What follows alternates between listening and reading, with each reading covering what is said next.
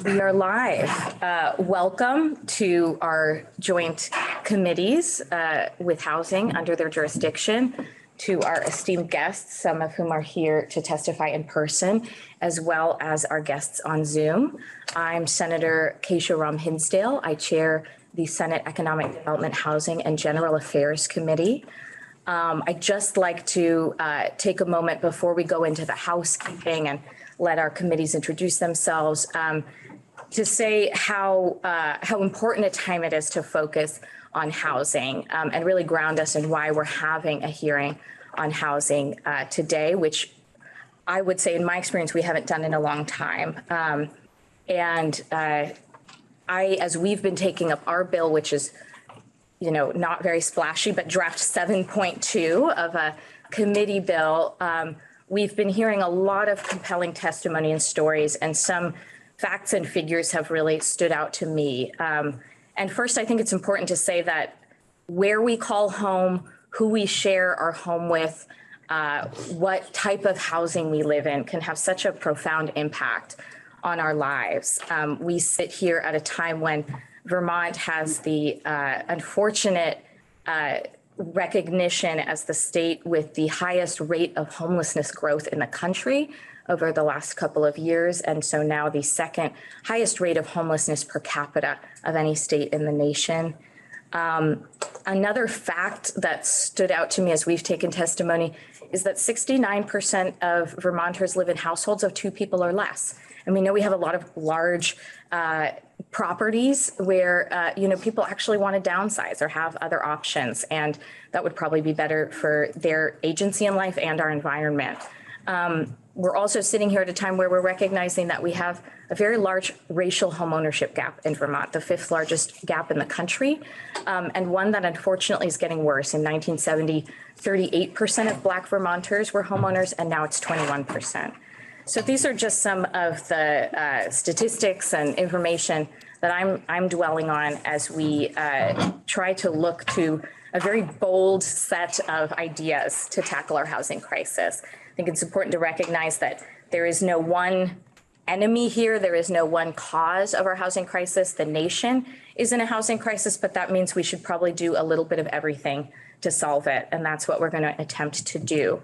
Um, I'm really honored to be sitting next to uh, House Chair of House General and Housing, Tom Stevens. For those of you who don't know, we actually started together on the House uh, General and Housing Committee um, 14 years ago. So there are probably not uh, necessarily two people left in the building who spent a longer time on this issue than both of us. And uh, I'll turn it over to him. Thank you, Kesha. I was in my 40s when I started this job, and you haven't hit it yet. So, um, So, um, thank you. Yes, we've been dealing with these issues for a very long time, and it's much longer than our combined service uh, to to the people of Vermont through our through our positions here.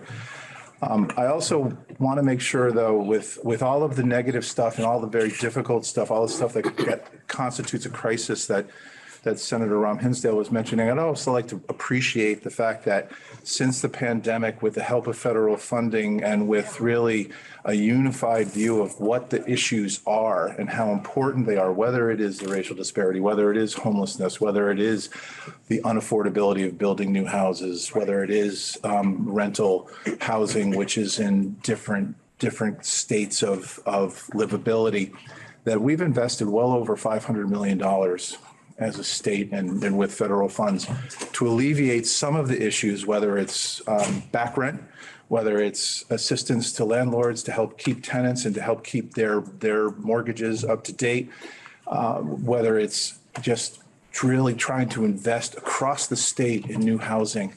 And we've made quite a dent compared to where we were.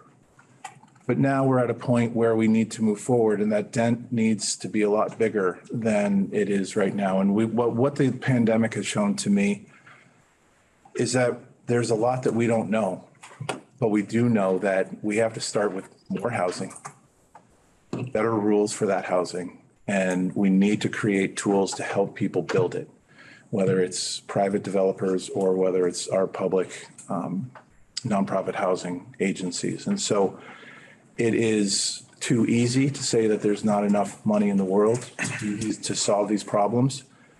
But I think Vermonters have shown again and again in the time that we've served that we, we rise to the crisis and we try to solve the problems as best we can. And one of the best ways to do this is to have um, a public hearing like this to hear. But we know from what we've heard, certain things, we want to be able to hear from Vermonters and um, hear what is going on in your lives. So thank you all for who are, who are here. Are you going to go through the three minutes and the, the length of time?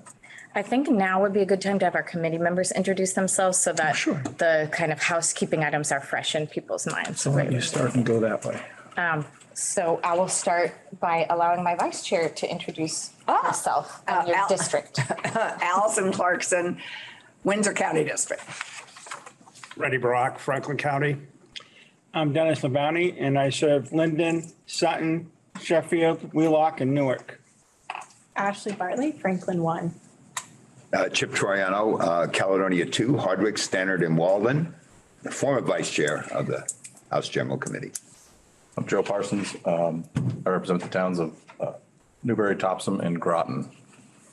Ann Cummings, I represent the Sen, uh, the Washington Senate District.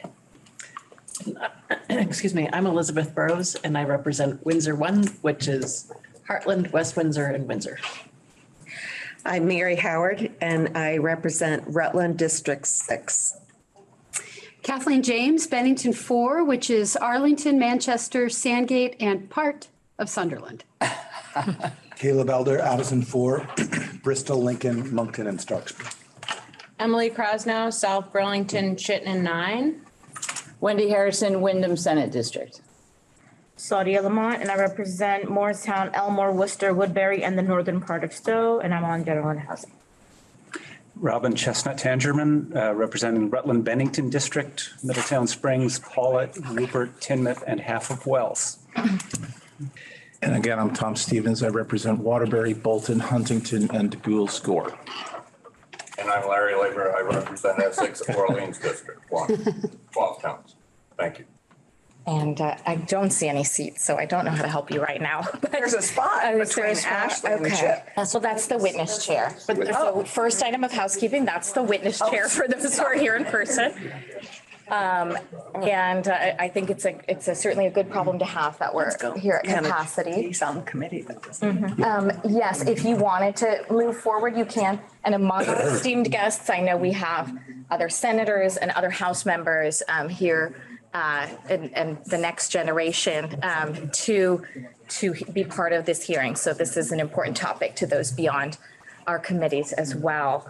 Um, So now on to some of the housekeeping items. Everyone, um, at least here present, in, on the committees has the list of witnesses. It may go a little bit out of order. Uh, Scott's keeping me informed about who might be late or canceled last minute.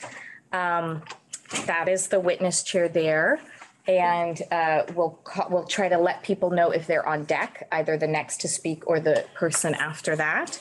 Um, We're here at a public hearing related to housing in general. We've allowed people to sign up by generalized topics and we won't make too big of a deal about that. Most people signed up under affordable and fair housing.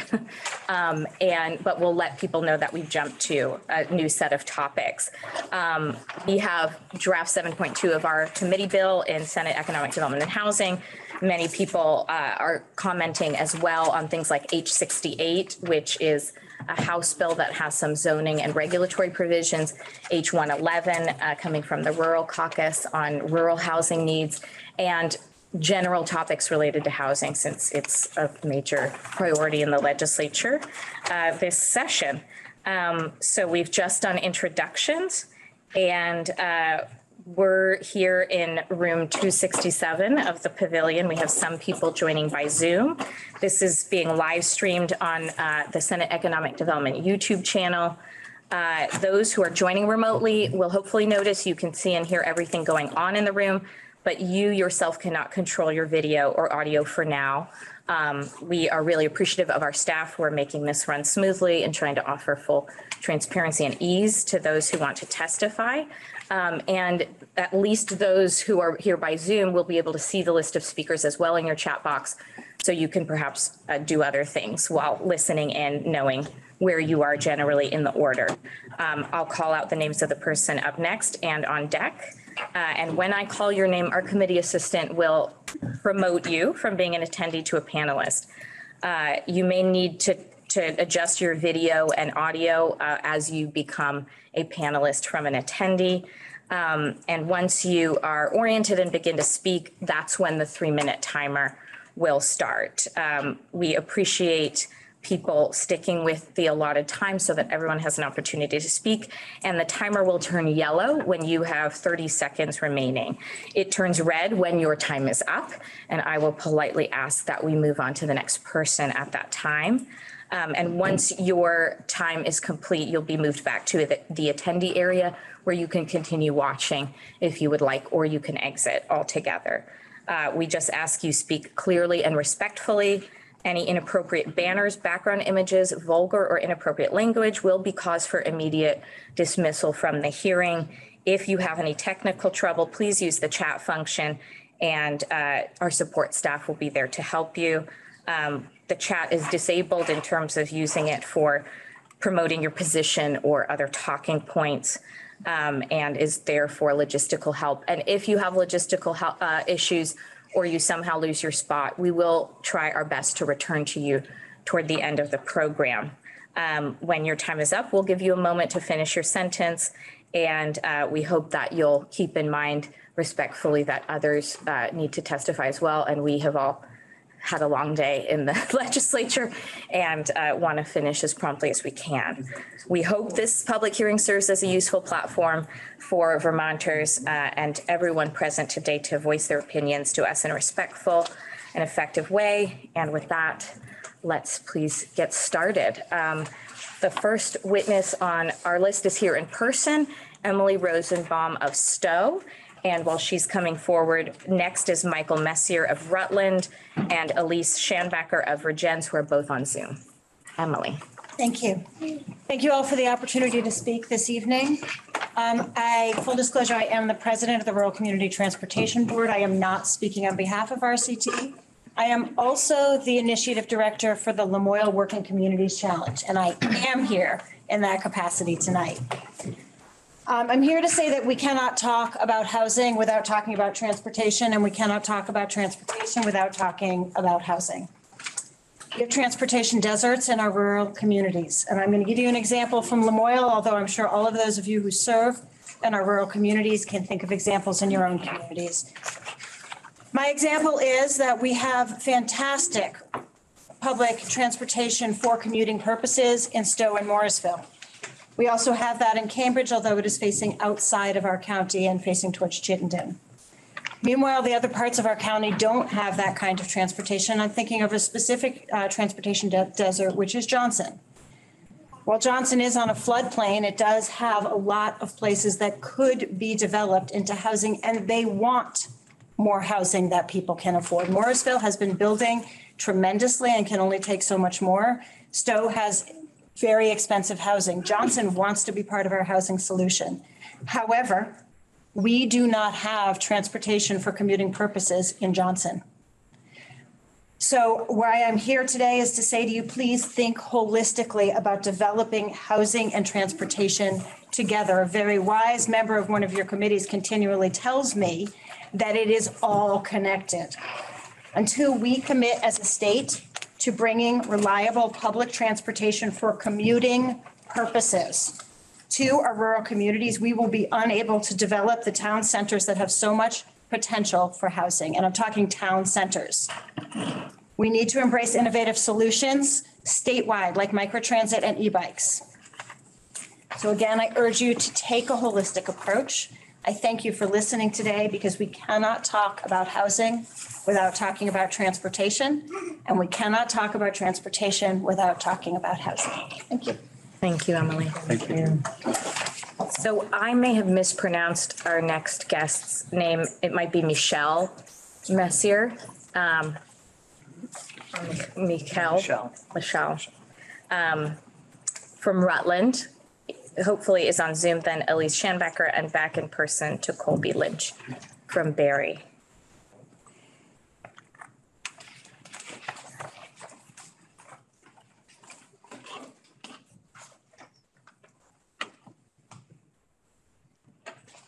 Can you hear me now?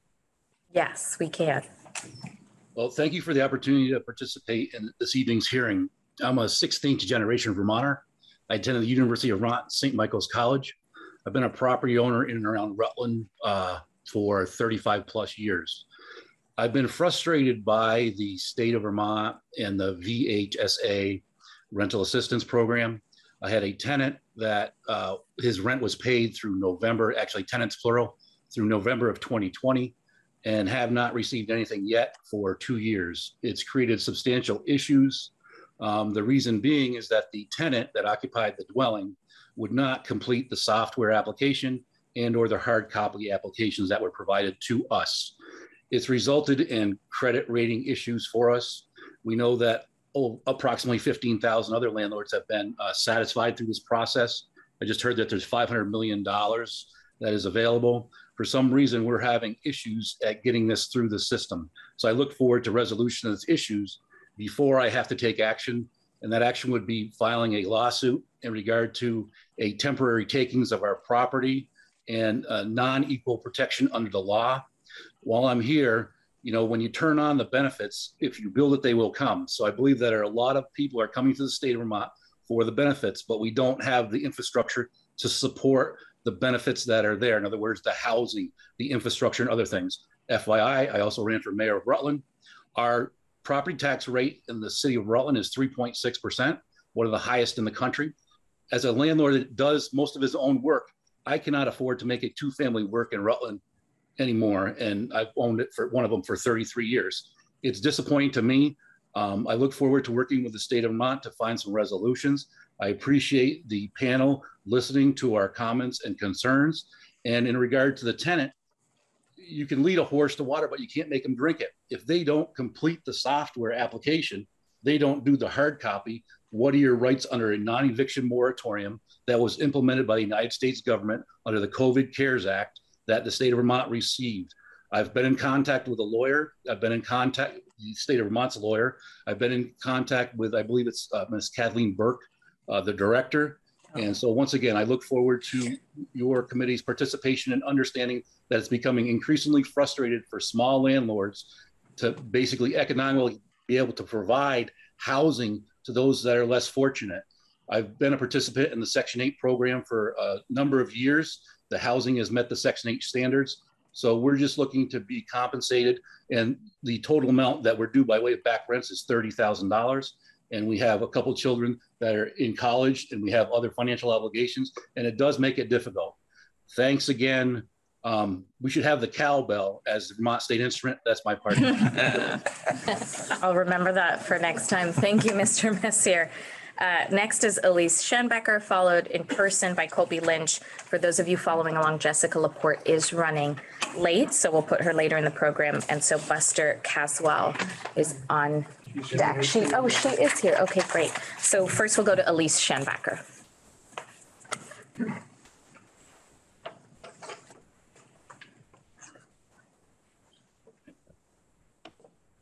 Hi there. I'm sorry I'm a little bit backlit. Um, my name is Elise Shanbacker. I'm the Executive Director of the Addison County Community Trust. Um, first, I want to thank you for holding this hearing and recognizing the paramount importance of addressing the housing crisis to the future of Vermont. Um, I'm mainly here to ask that the legislature support the Vermont Housing and Conservation Board at the full statutory amount of 27.8 million in fiscal year 24.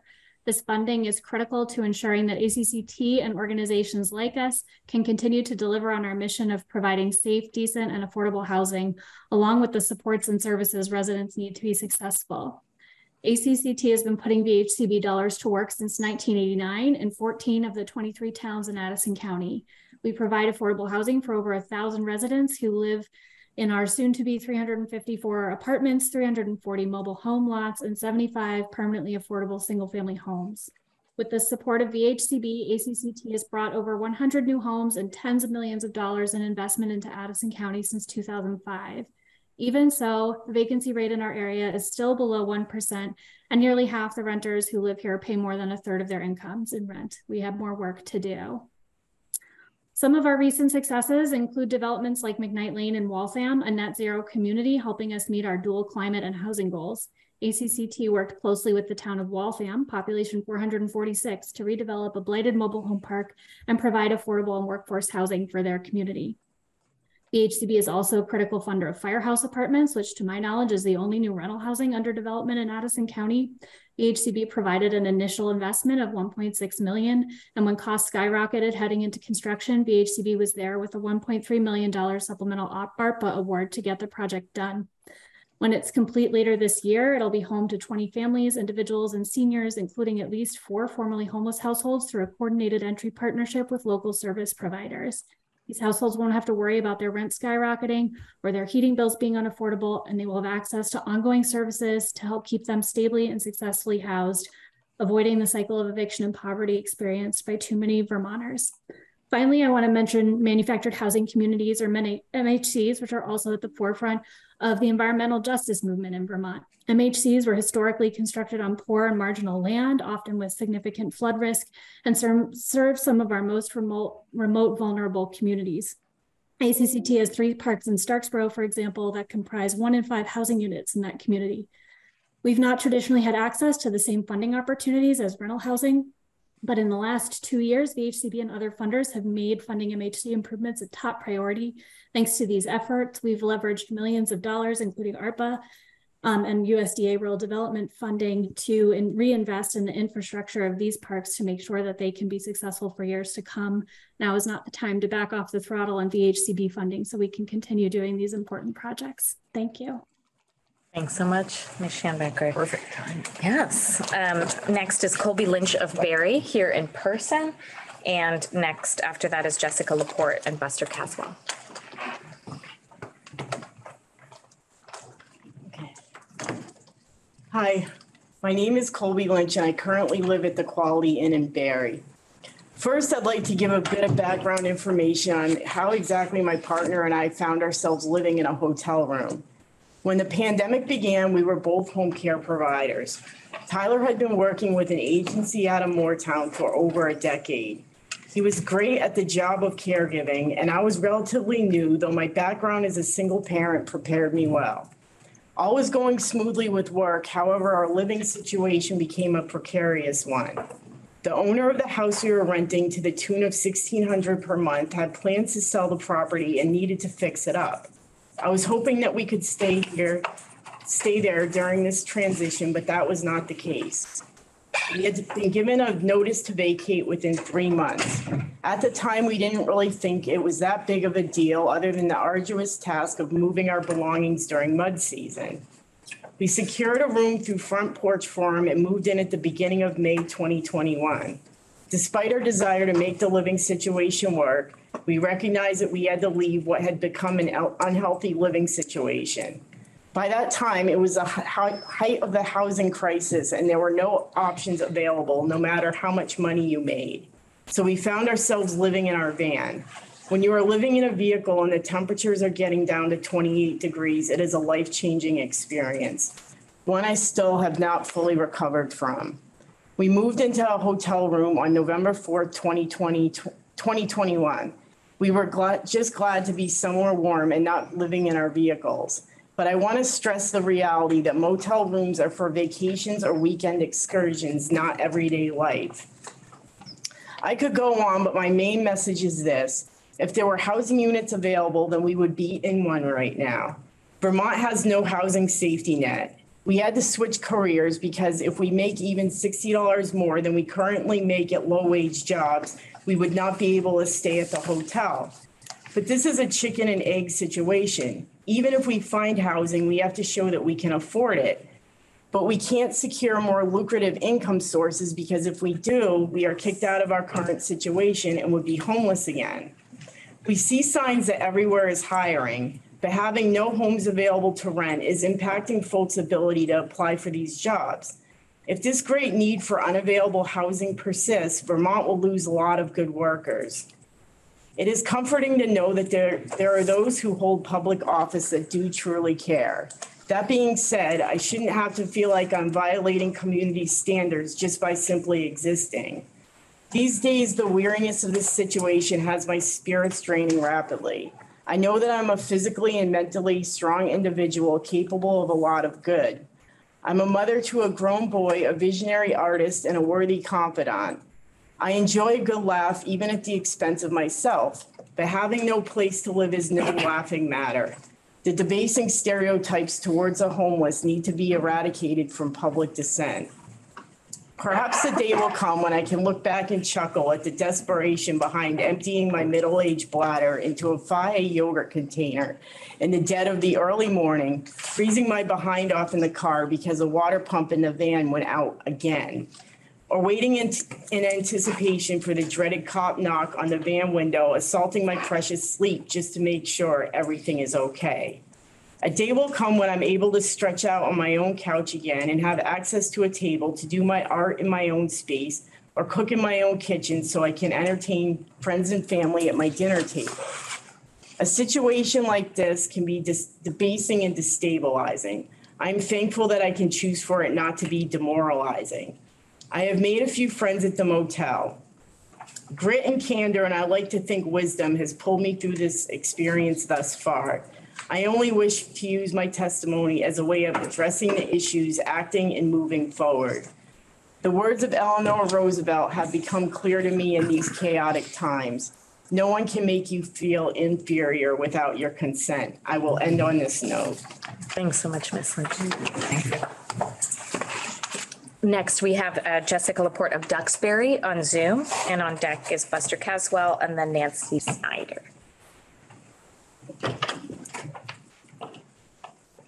You're muted, Jess. There you go.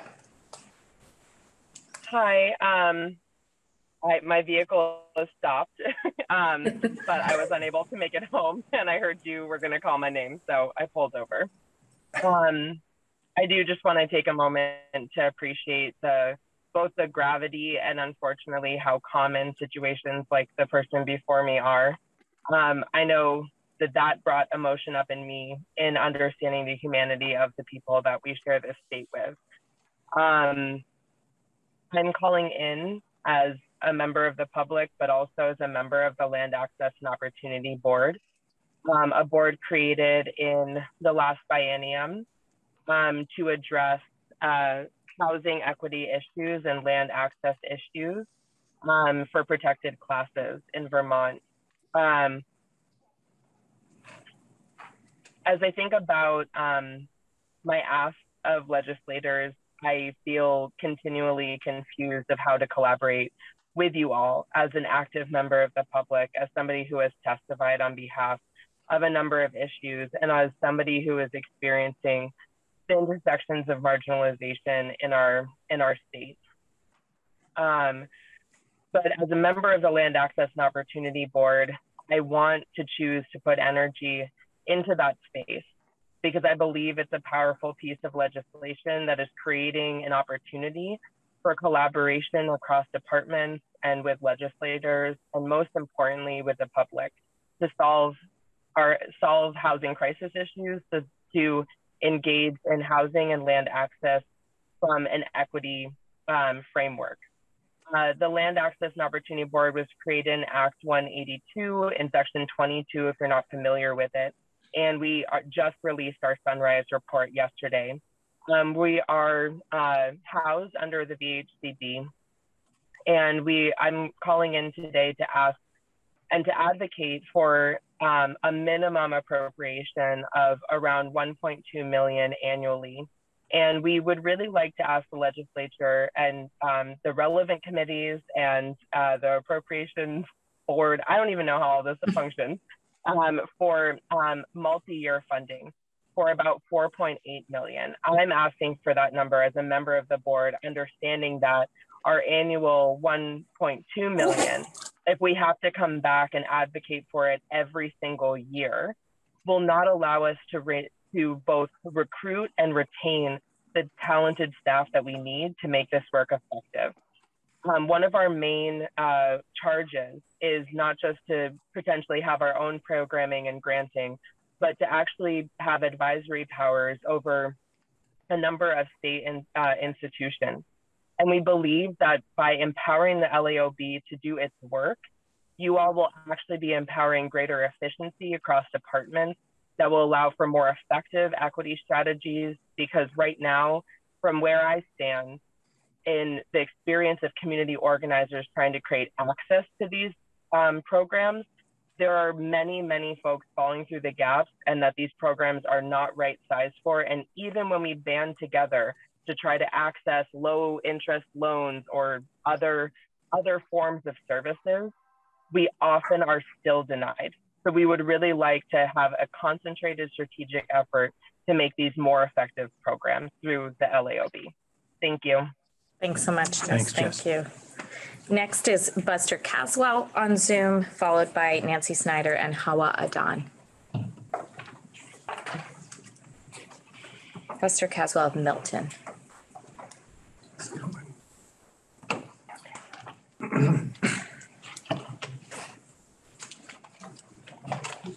Oh, in person? No, he's in Zoom. Oh, he is, okay, He's coming through. okay.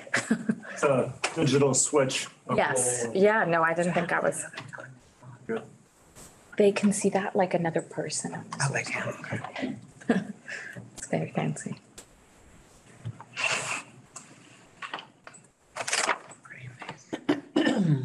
Hello? Hi. Okay, all right.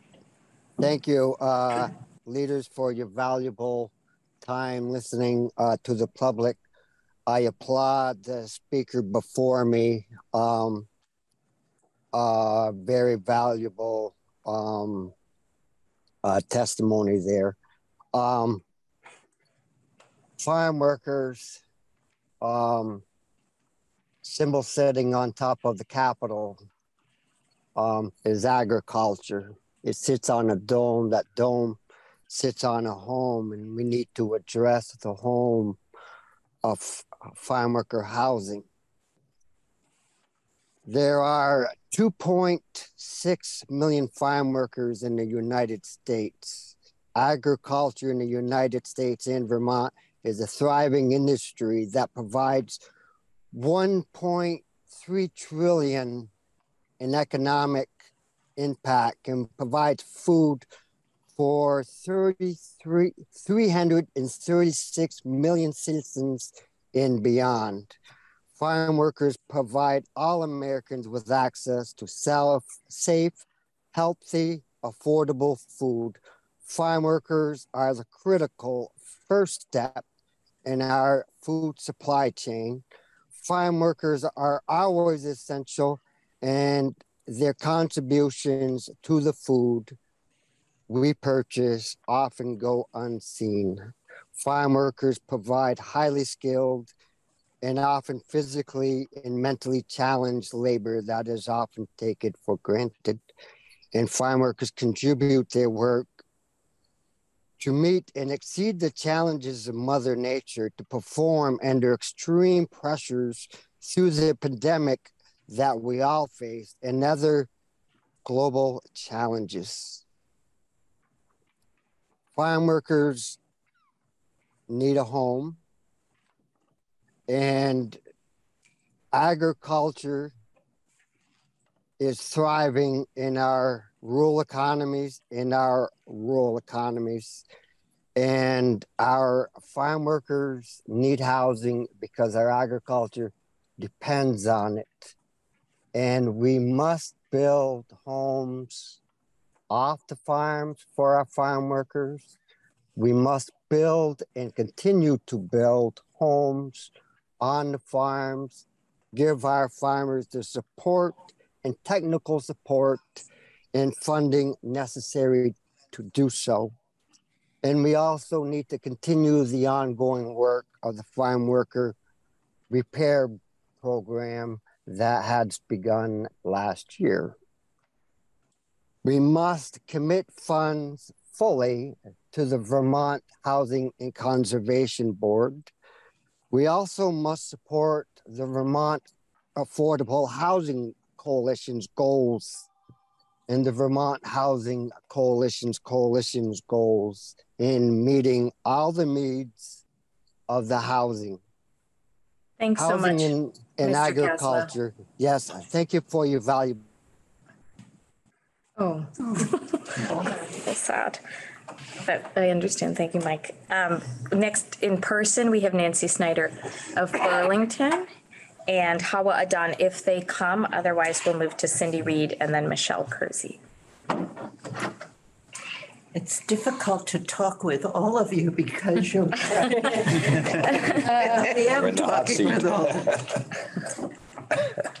Thank you for having me and thank you for all the good work you are doing in these committees for the people of Vermont. I really appreciate your efforts and I've already learned a great deal just with the first few speakers. My name is Nancy Snyder. I live in downtown Burlington in a Cathedral Square community called Juniper House. I want to talk to you about affordable housing in Vermont, but specifically senior housing and my experience with the nonprofit Cathedral Square. When I retired five years ago, this is a good story, by the way. When I retired five years ago, it was clear that I wanted to live in Burlington. My two married children and five wonderful grandchildren live near and around Burlington. It is a vibrant city with accessible health care and public transportation. And so I began an intensive search for an apartment that suited the needs of a single senior woman. Even five years ago, rents were very high and inventory was very low. I almost gave up. then a friend told me about Cathedral Square. I immediately sent in an application.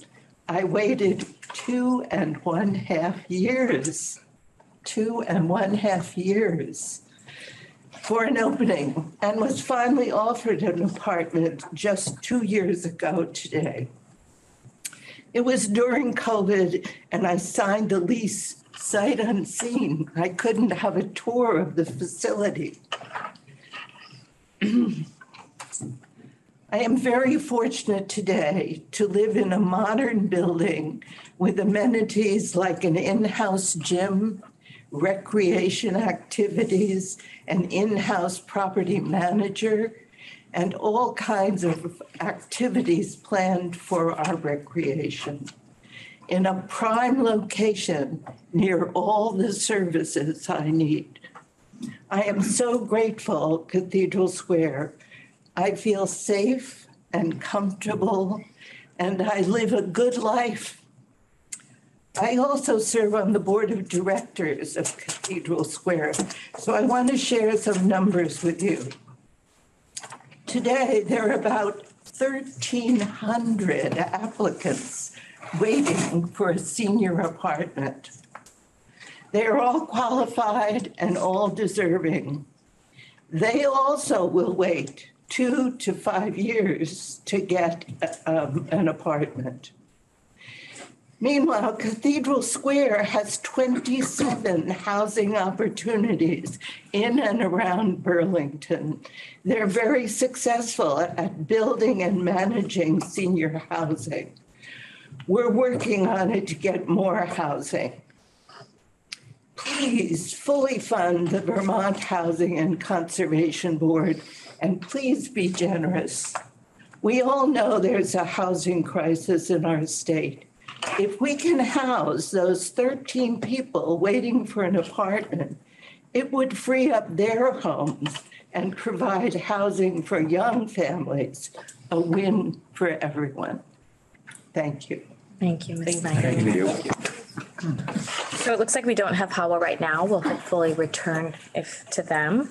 Uh, but Cindy Reed of South Burlington, you are up. And then we have Michelle Kersey and Jackie Wagner. Great, thank you. Hello, I'm Cindy Reed. Um, nice um, setup for me, Nancy. Thank you. I'm the Director of Housing Development at Cathedral Square. Cathedral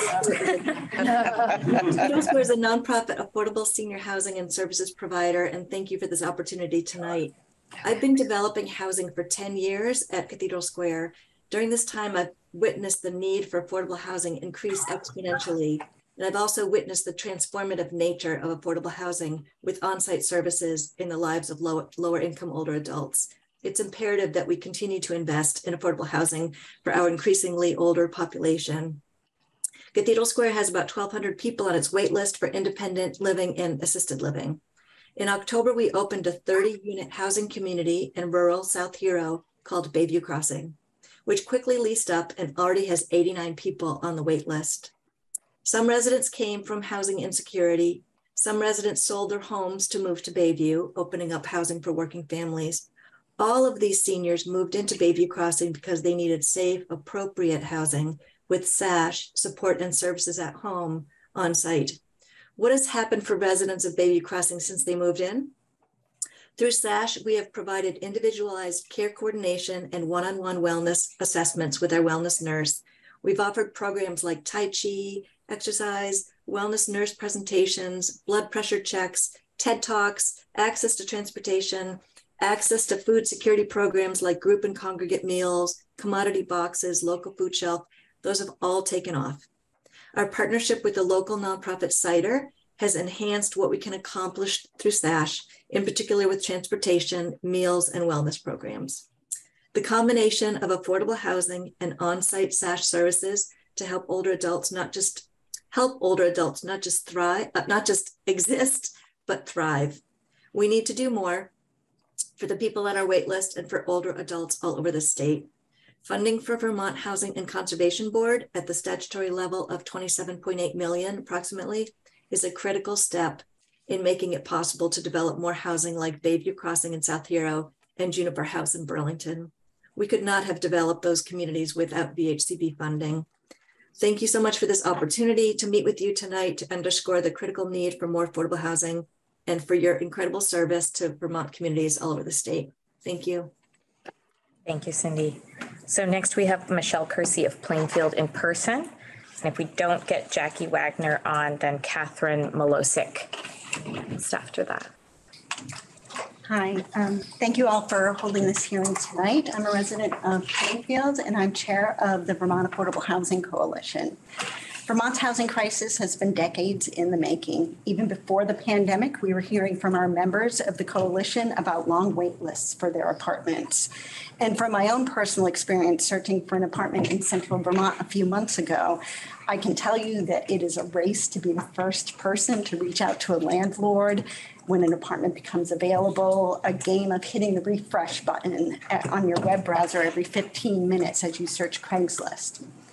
Um, the ongoing negative impacts of um, well-intentioned legislation and local zoning regulations with unintended consequences paired with consistent underinvestment of public dollars have contributed to our housing shortage and people with low incomes Black, Indigenous, and people of color, older community members, and people with disabilities are disproportionately impacted by the current shortage. Just as it has taken decades to get to this point, it will take us years to make things right. But there's a good place to start, and that's by fully funding Vermont Housing and Conservation Board at the full statutory level of 50% of the property transfer tax revenue. Um, it's estimated that if VHCB had been funded fully over the last decade, it would have resulted in the creation of another 1,000 units of affordable housing. Fully funding VHCB won't be enough. We must continue to invest at accelerated rates to create the housing necessary to fix what the market will not correct on its own. Substantial capital investments in emergency shelters, new affordable housing, and the preservation of existing affordable housing is essential.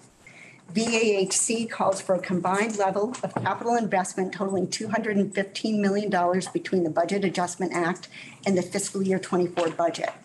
We also support increasing funding for rental assistance programs, including the Vermont Rental Subsidy Program and the Home Voucher Program, as well as funding to expand both the SASH for All program and the Family Supportive Housing Program.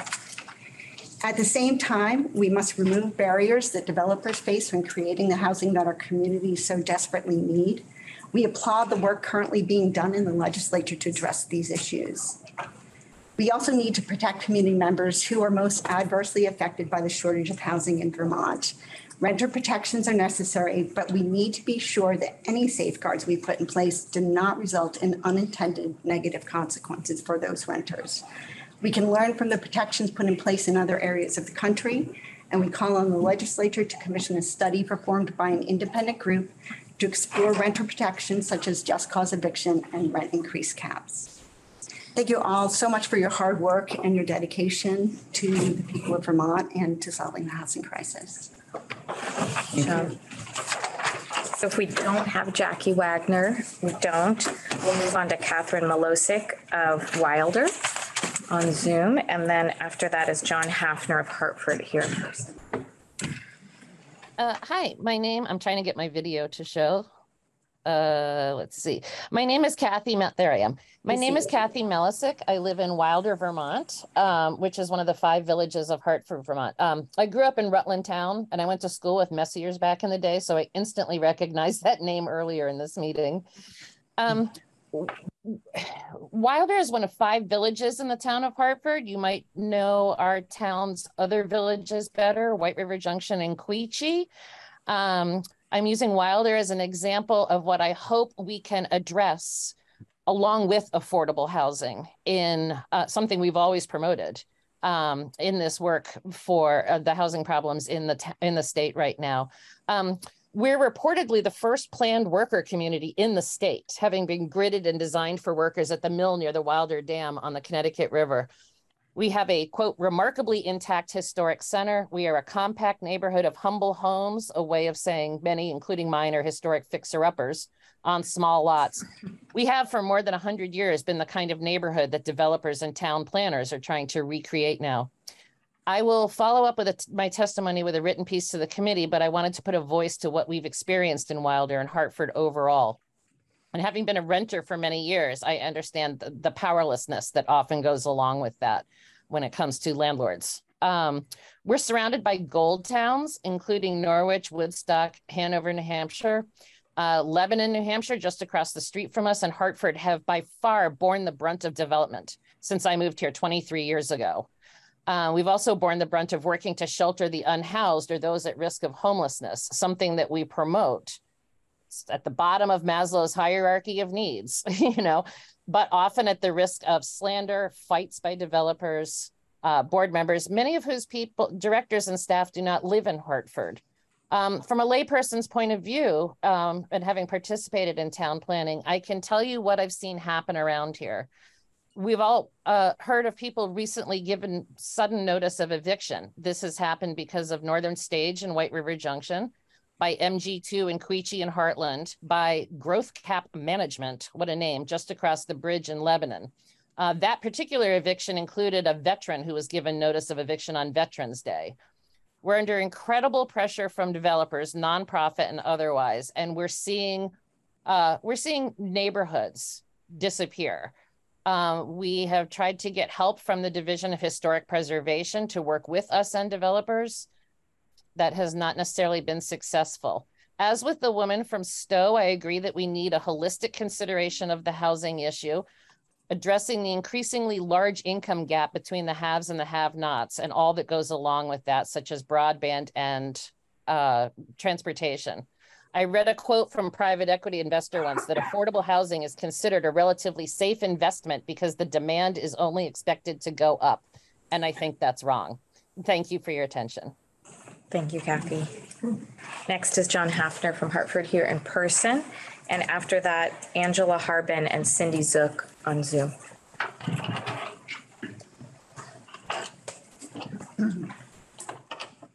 Good evening. Thank you, Chair Ram Hinsdale and uh, the committee here as well.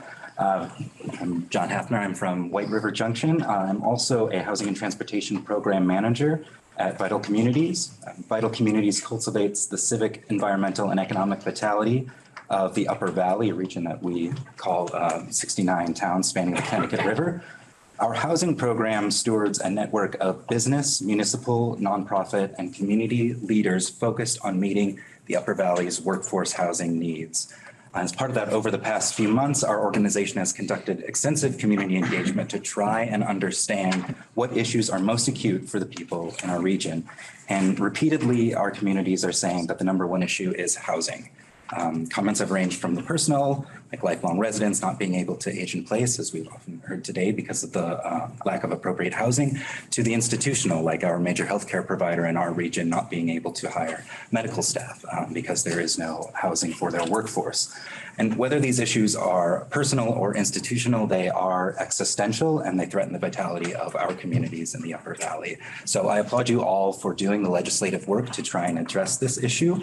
Um, the, the draft bills that are currently working their way through both the Senate and House, I think are, are immensely needed. And just wanted to uh, point to a few things that I uh, uh, have drawn out as I think important and, and should be uh, commented on. So the attention to comprehensive land use reform and the focus on density is critical. So that, that is a huge step forward. I think specifically emphasizing housing over parking lots is, is immensely important. And I would say you could even go even further and just uh, abolish minimum parking standards. Um, modernizing Act 250 to support incremental development that actually preserves our natural resources instead of encouraging sprawl is absolutely necessary, focusing on our, uh, um, our downtown cores and our village centers. Uh, moreover, I want to applaud you for continuing appropriations to establish uh, pro to established programs and agencies like the Vermont Rental Housing Improvement Program and um, the Vermont Housing and Conservation Board. And I echo recommendations that this board should be fully funded to its 27.8 million um, statutory level. And these are all holding the ground against this housing, this mounting crisis. So additionally, want to applaud uh, experimenting with innovative programs that support manufactured housing investment, missing middle income homeownership, employer-sponsored housing, uh, and funding resource navigators to help our communities access the once-in-a-generation funding that is coming through the federal level. This funding has been propping up um, um, efforts like transportation that are now losing funding and, and struggling to connect to the uh, additional funding that's needed. So fully resourcing um, positions to help connect communities to the, the funding that is out there is also critical. Um, all of these things are helpful to to the cause of providing a safe and affordable home for everyone. Um, so just have to ask, can there be more? Um, can the draft legislation go beyond what's next? And more importantly, what can we all do to help? So thank you. Thank you. Thank you. So we have uh, hopefully Angela Harbin of Tunbridge on Zoom. Who's on deck? On deck is Cindy There we go. Yeah. Uh, so good evening. I'm Angie Harbin. I do live in Tunbridge, but I'm here tonight as the Executive Director of Downstreet Housing and Community Development. We serve Central Vermont. I echo the appreciation that's been shared tonight already for the committee's investment in understanding the state of housing in Vermont. Um, there are so many things I could share about housing needs in the state and the county served by Downstreet, but with only three minutes, I'm going to whittle it down to the simplest components. We need a lot more permanently affordable housing. We need to preserve existing affordable housing so we are not losing ground while we build new. And we need to assume the responsibility of ensuring that people can sleep indoors while we work to solve a housing problem that they didn't create. Uh, so I think we all know that we need enough of the full spectrum of homes, you know, from emergency shelter to market rate home ownership, so that we can meet the housing needs of all Vermonters. Uh, some well-informed estimates are saying that it will take up to 40,000 more year-round homes across the state to meet this need by 2030. That's a daunting number. And, and, we know that our lower and moderate income residents are at the highest risk of cost burden, displacement, or even homelessness. So while we're determinedly bolstering the state's stock through multiple creative and innovative initiatives, we need to be sure that we are intentionally providing adequate funding and enacting the inclusionary zoning practices that will allow us to create and preserve the permanently affordable homes that are a critical part of reducing homelessness, of stabilizing vulnerable families, and of creating more vibrant and equitable communities. Permanent affordable housing also is also necessary to retain Vermont employers and sustain our ability to access essential services. Workers need an affordable place to live. So achieving this by making an, an investment in permanently affordable housing means that beneficiaries of these public dollars are consistently the people who need it most. So I ask that you please fully fund the Vermont Housing and Conservation Board at the full statutory level as a first step in ensuring that we have enough affordable homes. And right now, um, in our community right now, there are people experiencing homelessness in part because we haven't made these investments in ensuring that Vermont has enough affordable homes. And that's on us. I mean, housing is a basic human right. In a just society, access is not predicated on market forces or one's health status or their ability to earn sufficient income. I'm the first to also add that housing is complicated, and I'm very thankful tonight, to tonight's other presenters that will talk about some of those complexities, including community and housing service needs. But as you're making hard choices about what to fund, I ask that you please consider what it says about us as a state and as people if we choose not to ensure that members of our community have access to shelter while also investing in our future and, and investing in the homes they deserve by addressing our permanent housing shortage. Thank you. Thank you, Angie. Thank you. Um, next is Cindy Zook on Zoom and Will Eberly in person if he's here. I don't currently see him. Not here. Okay. Cindy. Hi, thank you very much for uh, starting this this evening. This is really important. My name is Cindy Zook, and I am a SASH coordinator at Thayer House in Burlington's New North End. Uh, Thayer House is a Cathedral Square property and contains 70 of the over 1,000 apartments that Cathedral Square has developed across three counties for older adults and those with disabilities. Even with those apartments perpetually affordable for the future, we have over 1,300 people on the waiting list, as you have heard before. And uh, over 200 people are waiting to get into Thayer House alone at this time. The average wait is three to five years. I am asking you this evening to please consider to make more funding available for perpetually affordable age-specific housing. Please make it a priority for your session. Sometimes I don't think people realize that when elder, uh, low-income elder housing is developed, there's often a sunset clause, and eventually those affordable units can be raised to market rates um, Cathedral Square sees people uh, having to flee from those buildings after the rents go up to come onto the Cathedral Square lists. A large number of our residents are Vermonters who have planned their entire lives. They have followed the three-legged stool rule of retirement. They have their 1200, 1300 dollars a month for their social security. They have their little pension of 200 or $300 a month from working at the hospital or working at the city clerk's office. They sold their little house for not very much because of the maintenance had gotten so bad. And now in their 70s and 80s and 90s, they have no place to go and live in the community that they have lived in their entire lives. The skyrocketing costs of living in Vermont cities is something that they never imagined. And there is a role for government here to help level that playing field for those folks who brought success to our communities. Families are trying to help, but there is certainly not much inherited wealth here for these folks. And as individuals try to maintain their health insurance and live a life, they quickly fall into deeper poverty that will certainly take more state money and more social workers to extricate them from. Um, it is important to keep people in their communities. It allows their children, friends, and churches and other support systems to come to their aid. For the foreseeable future, it is going to be a challenge to find the many healthcare aides and social workers to help care for our older Vermonters. They need to stay near support. The hiring crisis is real. So please consider making this investment now and support the older Vermonters' dream that if you work hard and you have your little savings and you sell your little house to a young family that is starting, that you can make a lateral move to a safe, affordable place where we can support people. We want to support the circle of life and not a cycle of poverty. And I thank you very much for taking the time and holding this hearing. Thank you, Ms. Zook. So next, as I understand it, we have Marion Leakey and Margaret Anderson, both of South Hero. They both live in the same community, so we might have them in succession or together. That's if we'll. Hi. Is that Marion and Margaret?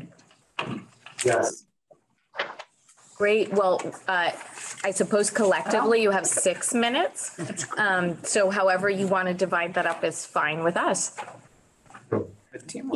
My name is Mary Leakey. I'm 85 years old and I live in South Hero in Cathedral Square Apartments of Bayview Cross. Thank you for the opportunity to testify today about housing.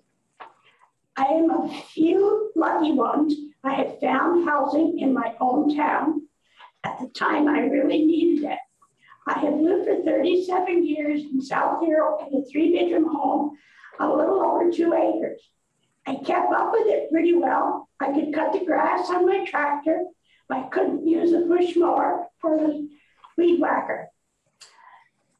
Our house maintenance issues became harder and harder. Finally, health problems with my back and shoulders made me realize it was time to leave my home that I loved. But I wanted to stay independent and stay in South Hero. My hometown is my longtime friends. Again, I was lucky and my timing was right. Cathedral Square was building an affordable housing community for older adults right here in South Hero. My son helped me fill out the application and mine was the first application submitted to Cathedral Square. There were well over 100 applicants for 30 apartments. I moved in just this past October. It is hard to leave your home with 37 years. I cried about it, but I arranged my new apartment so that the furniture is like it was in my old house. And now I feel like I've come to closure with the change. And I really like it here, and my home became available to a needy family. I participate in a lot of events that happen here at Bayview. I walk regularly, I've made new friends. I help teaching a girl how to knit. Um, we made Valentine cookies and cards. I just signed up for SASH, so I will support from, from the staff here with my health and well-being. In fact, my SASH coordinator, Paul, helping me, so I can talk to you right now. My message to you all, please make affordable housing to priority to all ages so that it is only, not only a few ones like that, that they housing that they didn't found an opportunity for me. Thank you. Thanks so much. This is Meg Anderson. Hi, Meg. Hi, my name is Meg Anderson, and I'm a resident of Cathedral Square's new senior housing development in South Hero, also Bayview Crossing. And here's my story. I was raised in Southern Connecticut, then raised my own family in Southern Vermont. My husband and I grew a one bedroom ranch to a four bedroom, two bed home on his ancestral land in Williamsville.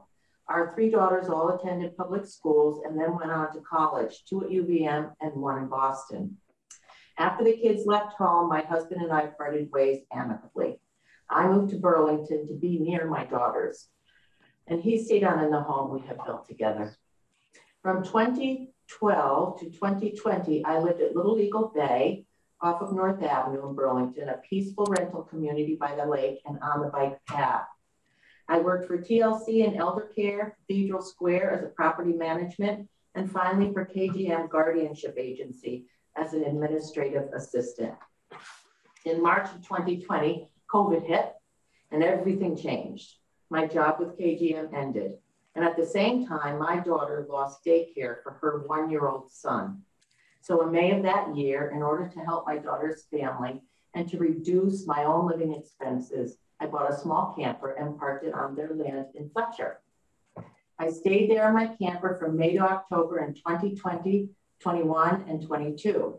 During the cold months, I found alternate housing, first with Home Share Vermont and then in a friend's rental unit, unit in Fairfax. All in all, I moved seven times in three years. Let me tell you, it was exhausting.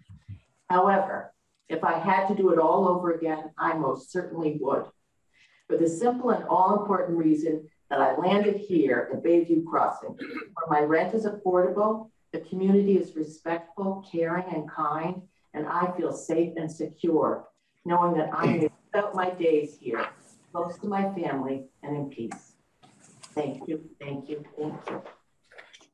Thanks so much, Meg and Marion, and thanks, Paul, also for helping facilitate. We appreciate that. Uh, Next is Leo Schiff of Brattleboro. If he's here, and then Patricia Patricia Tedesco is after. Hi, Leo. Um, hi, I can't see the clock, um, but um, that'll work out. Um, hi, my name's Leo Schiff, and I've lived in Brattleboro for about 40 years, and I've worked in human services for the past 30 years. I'm a licensed clinical social worker. I worked for Morningside Shelter in Brattleboro for five years. I've been with the state of Vermont working for Voc Rehab for the past 24 years. I'm currently supporting the Agency of Human Services effort to help individuals successfully transition out of the pandemic transitional motel housing. Today, I'm speaking, testifying solely in my role as a board member for the Windham Windsor Housing Trust. The scarcity of safe, affordable, responsibly run housing is a huge problem in Vermont. There is no single solution. However, organizations such as the Housing Trust play an important role in the solution. The Housing Trust is able to charge much more affordable rents than most landlords. Many of their projects include subsidized units, which create affordability for more vulnerable populations. The Housing Trust also serves as a second chance landlord for individuals whose life difficulties have had a negative impact on their housing history. We've learned during the pandemic about the multiplicity of challenges vulnerable populations face and the impact of those challenges on the individuals and their communities. Safe, responsibly run, affordable housing provides the foundation, the platform for individuals to make changes that they need. But it takes much more than just housing to transform their lives. Many individuals will need ongoing support services in order to successfully navigate their new lives. It is important for the legislature to understand that housing needs to be paired with support services in order to complete the success. There are many different models to provide the support services, such as SASH for All, case management through designated agencies, um, those kinds of things. But the point I want to make is that support services need to be funded in addition to the support that the state offers to create new housing. In addition, I would say that the subsidies need to keep up with the uh, with the rising cost of housing in Vermont. So to summarize, I ask the state to fund more affordable housing projects coupled with subsidies and support services. Thank you. Thank you, Leo. Thank you. Um, Next is Patricia Tedesco, and I understand Cynthia Haviland is trying to phone in and might have some trouble. Our staff are trying to help you as well, if you can hear us. And then we have Jean Zimmerman in person. Hi, Patricia. Good evening. Hey, I just got promoted. That was pretty cool. My name is Patricia Tedesco. I'm a resident of Woodbury, Vermont. I am the Program Services Manager at the Vermont Center for Independent Living. VCIL is a statewide nonprofit established in 1979 to help people with disabilities. VCI, VCIL's Home Access Program provides housing modifications for low-income Vermonters who have permanent physical disabilities so they can remain in their homes and live more independently. Our primary funding comes from the Vermont Housing and Conservation Board, and we fully support their full funding. At the end of the narrative, which I've supplied, you will find before and after photos and stories from people who have benefited from this important program. You'll hear from Vermonters like Rodney in Franklin County, who shared a story with us. Quote, I had a lot of trouble getting in and out of my home because of the steps. I didn't feel safe going outside unless someone was there to help me. It was unsafe. Now that I have a ramp, I can come and go as I please. I also want to say thanks for helping me get more of my independence back. You'll find lots of stories like that and the photos in the testimony I supplied um, by email. Taking a shower or getting in, our, in and out of our homes easily is something most of us perhaps take for granted. However, the people that we help at VCIL see this as a daily struggle. I think we can all agree that Vermont needs more housing. Vermont needs more affordable housing. But another consideration is Vermont needs accessible housing.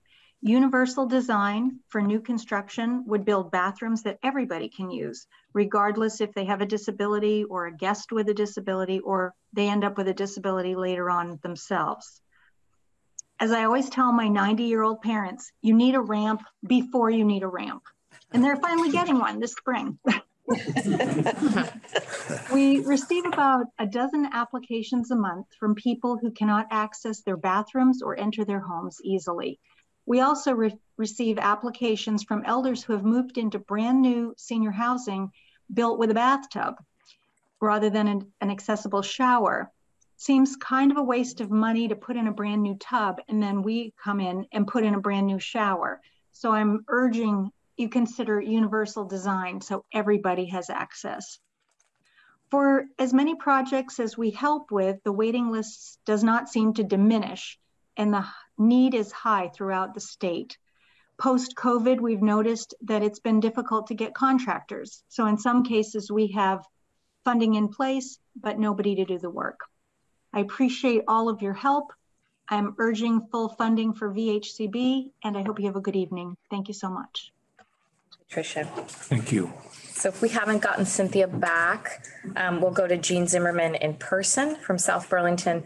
And although people have touched on homelessness and emergency shelter, these are the couple folks who've signed up specifically under that category. Hello.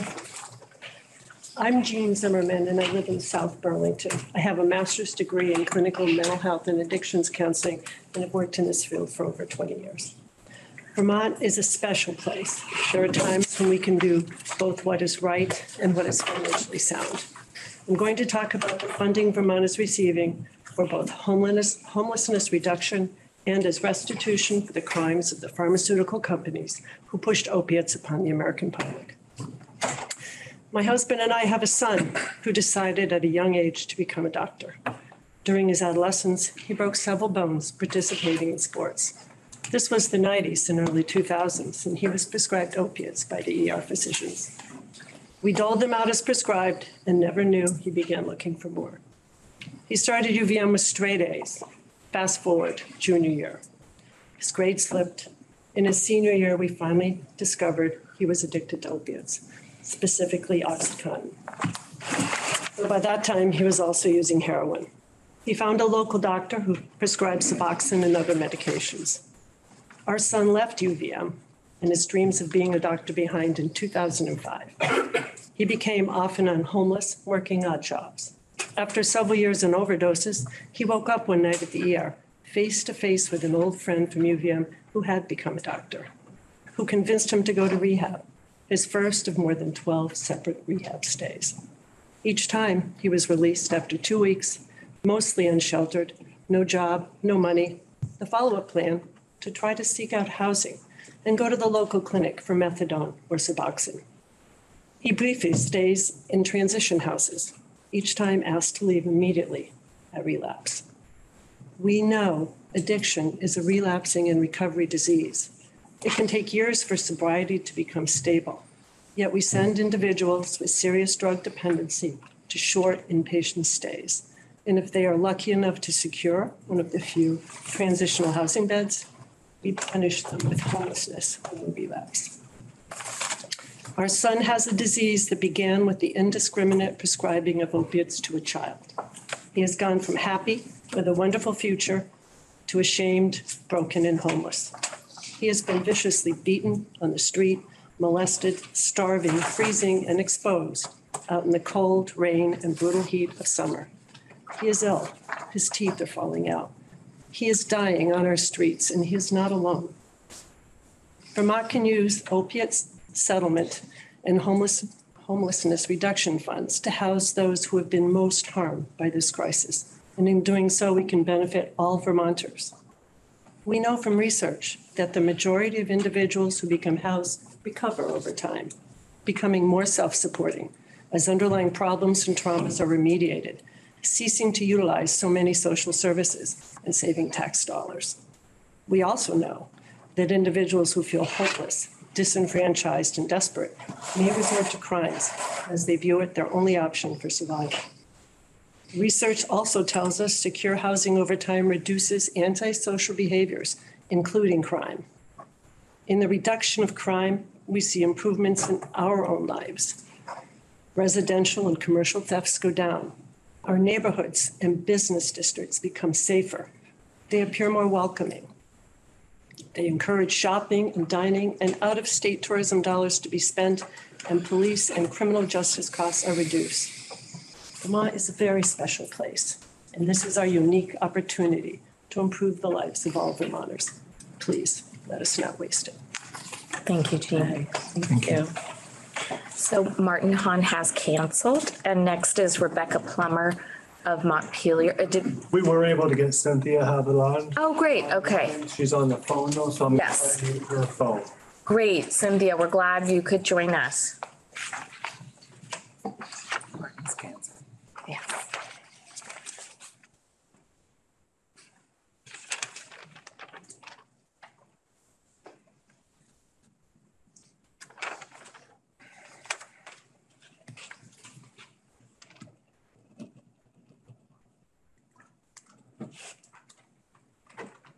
Yeah. She's there, she's just muted. Okay, C- Cynthia, if you can hear us and you're able to unmute, I'm ready to listen.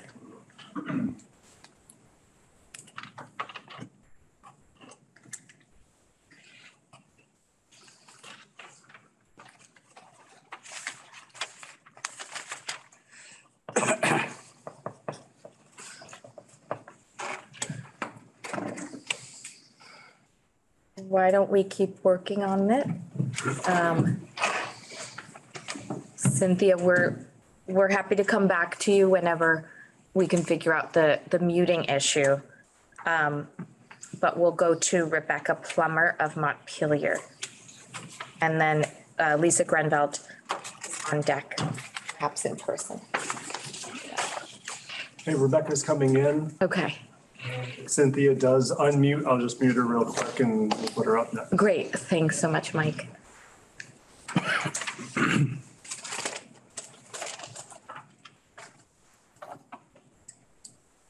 Good evening. Sorry for that delay.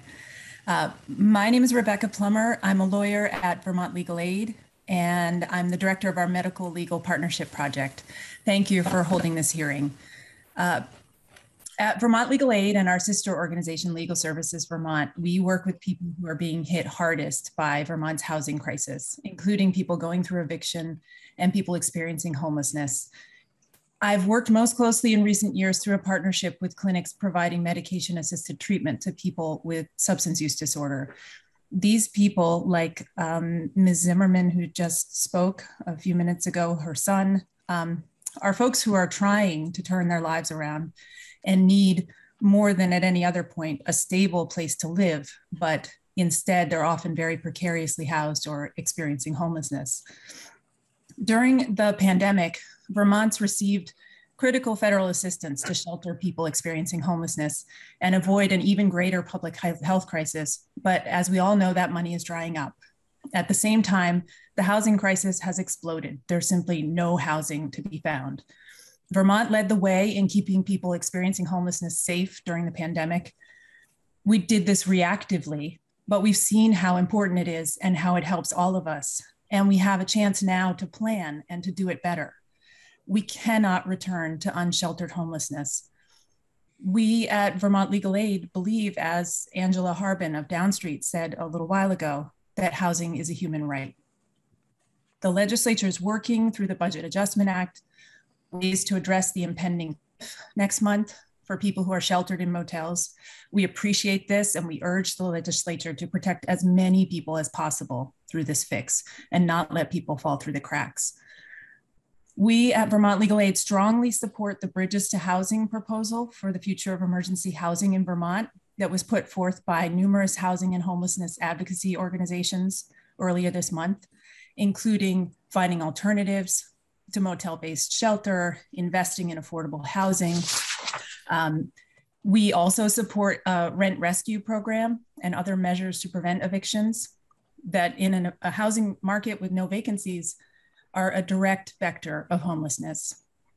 I want to just say for a moment that the um, proposal by this coalition to fully fund and re envision the GA emergency housing program is really critical.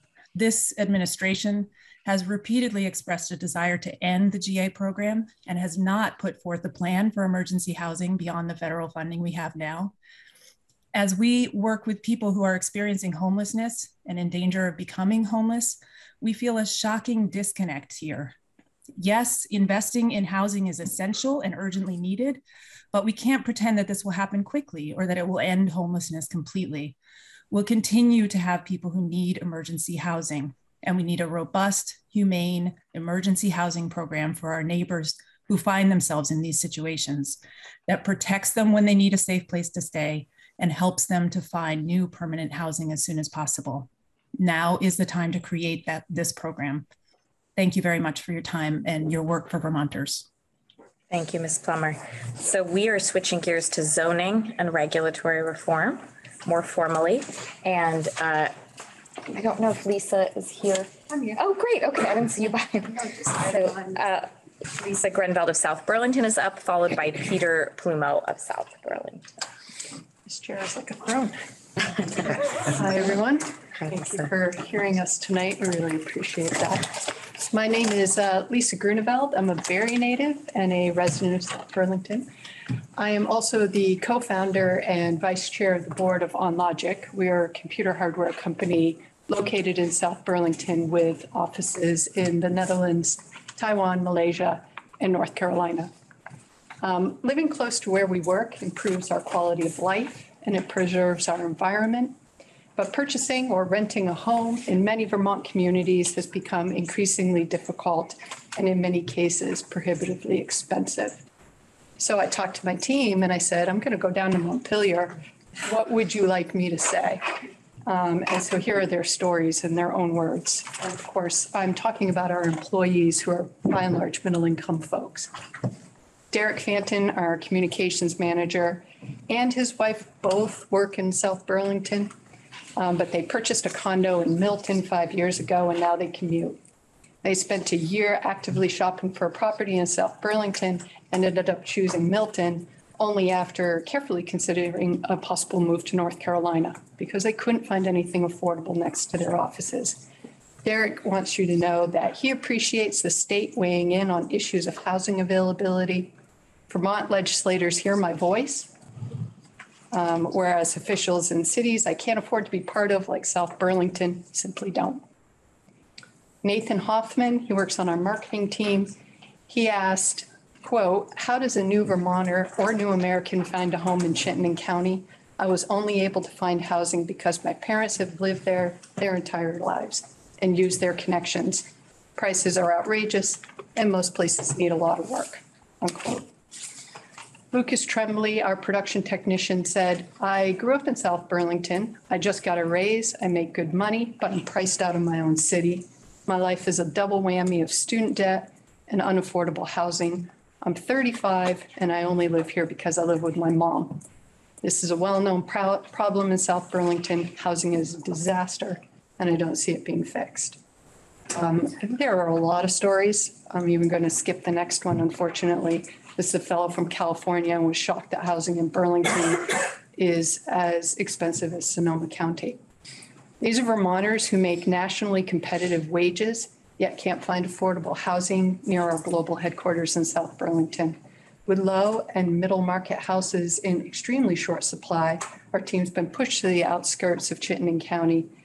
And this shortage is holding them back from building their lives. And it's impacting our environment and it's slowing our economic growth. I want to thank you all for the hard work you're doing working with Vermont communities. And I want you to know that South Burlington is a wonderful place to live. The state of Vermont is a wonderful place to live. And OnLogic wants to help any way we can. You're welcome to come visit us anytime. Thank you for coming to visit. Yes, Please do. We have great trips. Thanks so much, Lisa. And a sort of mid-course reminder that we will take written testimony and post it on our website. uh, And so we can hear all the stories as well. Thanks so much, Lisa. Um, We have Peter Plumeau of South Burlington up next. And Um, We don't have Nicole Kesselring here yet, so after that would be Eric Stacy in person. Hi, Peter.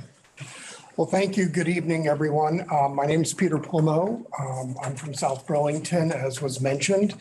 And I- my comments, I think, are going to be a a really nice adjunct to what you just heard from uh, the representative from OnLogic. Um, Currently, I am an independent consultant in organizational change and service and product innovation. Um, I've lived in South Burlington for 23 years, specifically in the southeast quadrant. Um, And I'm very happy to be here to express my very strong support for the omnibus housing bill. My professional background is in infrastructure and economic development planning and consulting. And I've advised policymakers and private businesses across the country and around the world on these topics. In my opinion, this bill is an essential piece of helping remove local barriers to meeting Vermont's need to grow its labor force and to attract quality jobs by allowing the addition of much needed homes. From the perspective of employers, such as OnLogic, particularly in those kinds of clean and green industries Vermont wants to attract, retain, and grow, proximity to qualified employees is almost universally cited as a critical factor in deciding where to locate. In other words, if they can't find the workers, they'll go elsewhere. Therefore, facilitating the development of housing that working families can afford with accessibility to quality jobs is essential to building Vermont's future. I think we can also, um, excuse me, I think we all also agree that we want our kids and their families to have a viable economic future here that doesn't require them to move out of state. However, according to an analysis by the Washington Post, Vermont annually loses 58% of our college graduates, which is the lowest rate of retention among all states. Certainly, increasing our stock of housing across all price points can only help improve the situation. Finally, as I'm sure you know, employers desire and need predictable and stable business environments to thrive and provide jobs. This bill will make zoning and building requirements more consistent and predictable across the state, thus making home building less costly and promoting economic development. In sum, by making it easier to build badly needed homes, this bill will help overcome a critical challenge to Vermont's future economic vitality. Thank you very much for your hard work on this important issue. Thank you, Peter. Thank you, Peter. So if we don't have Nicole, um, then next we'll go to Eric Stacy of Windsor, and after that is Gary Winslet.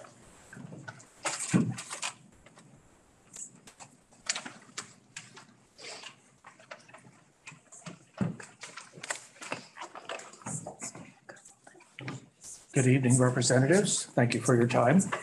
I'm here to discuss eviction procedure and that the whole process takes at least eight months and costs landlords at minimum $12,000 per eviction. That's my repeated lived experience. It's in the details where the knife fight really happened. Per Chapter 137 on residential rental agreements, and in the case of an ejection for non-payment, the only statutory defense available to the tenant is non-habitability. In a no-cause ejection, or where the landlord has significantly increased the rent, the only defense available is that the landlord is retaliating against the tenant for actions taken in the previous 90 days. Now, when all this gets to court, most problems revolve around who did what and when. Again, from chapter 137, and this is tedious. Actual notice is defined as receipt of written notice, hand-delivered or mailed to the last known address. A rebuttable presumption that the notice was received three days after mailing is created if the sending party proves that the notice was sent by first class or certified mail.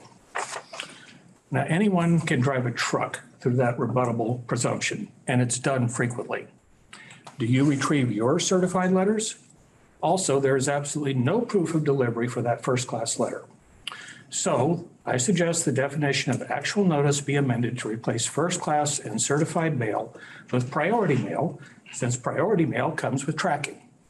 That way, everyone involved gets third-party proof of receipt or not, and the problematic language of rebuttable presumption can go away. My bigger point here is that there is just not that much to adjudicate.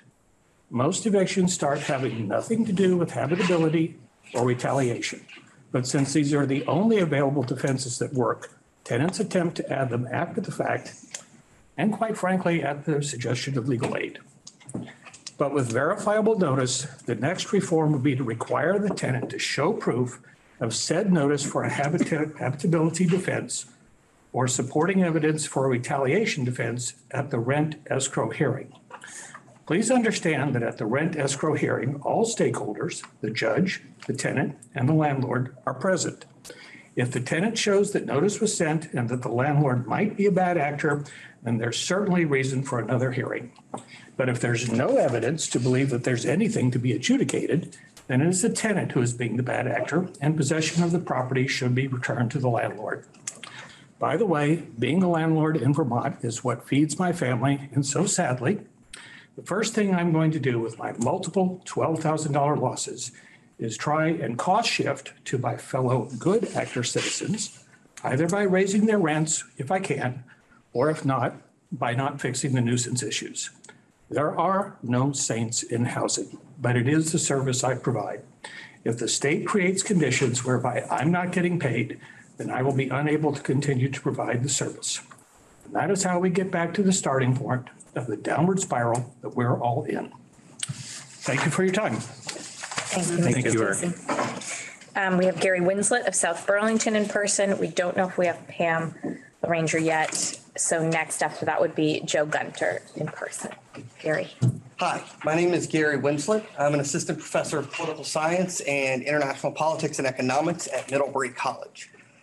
Uh, my family, so my wife and my now four-year-old daughter and I moved to Vermont in August of 2019. Uh, we were really thrilled about it. We like winter, we like mountains, we like the outdoors. Um, and, you know, after, uh, starting in about 2021, we had what we thought would be a down payment together for a house. Uh, and we just, we've been on the housing market ever since and can't afford to buy. Um, you know, we think of ourselves as kind of like one of the young families that Vermont kind of wants, right? Like I'm a professor at Middlebury, my wife, uh, she is a physician assistant in orthopedics in South Burlington. So we'd like to be fairly near where she works. Um, and there's just nothing reasonably priced near there, like at all. Um, houses that would be 300,000, 350, and a lot of comparable places are 600,000 or more near us, and we, we can't afford that. Um, we just, we can't. Um, you know, and there's, there's a lot of young families, you know, who have just left because it's too expensive to be here. And they don't come knock on your office door, they don't come yell at you, they don't show up to meetings, they just leave because it's too expensive.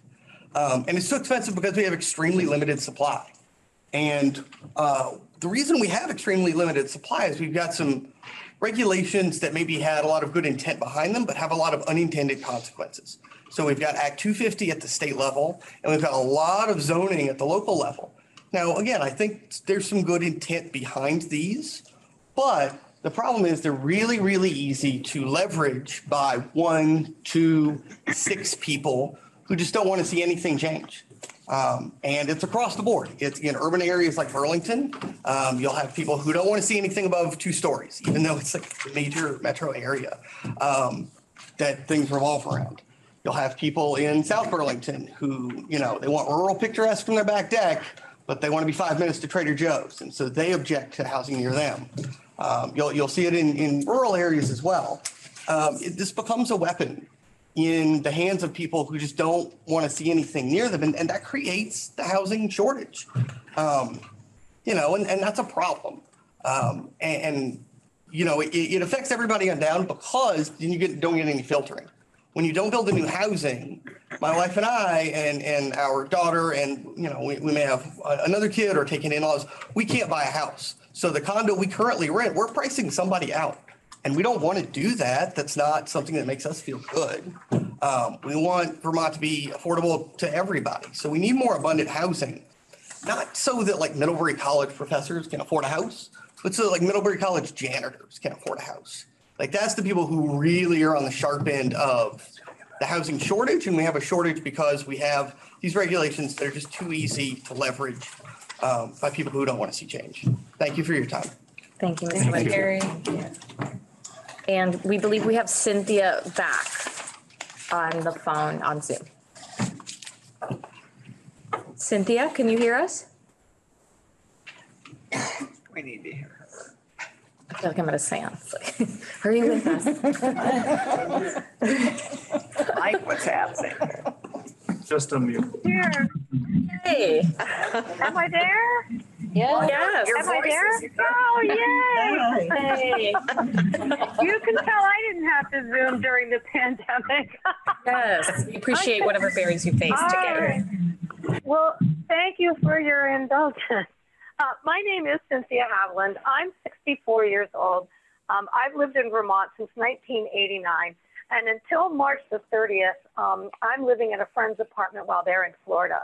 But then beginning April 1st, I have no idea where I'm going to live. Uh, for the past 19 years, I've lived and raised my son in Richmond. However, near the 1st of November, my landlord showed up with a notice of termination for no cause from my apartment of over five years, where I have had a stellar record of tenancy, and I had to be out by December the 31st. I started looking for a one bedroom apartment the day I got my notice of termination. And although I'd love to have a place where my son could still live with me part time, a two bedroom apartment is stratospherically out of my reach. Then I learned that there wouldn't even be an available uh, affordable one bedroom apartment before I had to be out. So after the circus that's moving while working over Christmas, while breaking up uh, the, my 22 year old family that was my child and myself, I finally got back to a permanent housing search just after New Year. And uh, for the first time in my life, and I never thought I would say this, I'm actually happy to be designated as a senior because it appears that subsidized senior housing is going to be my only option. Although, are you still there?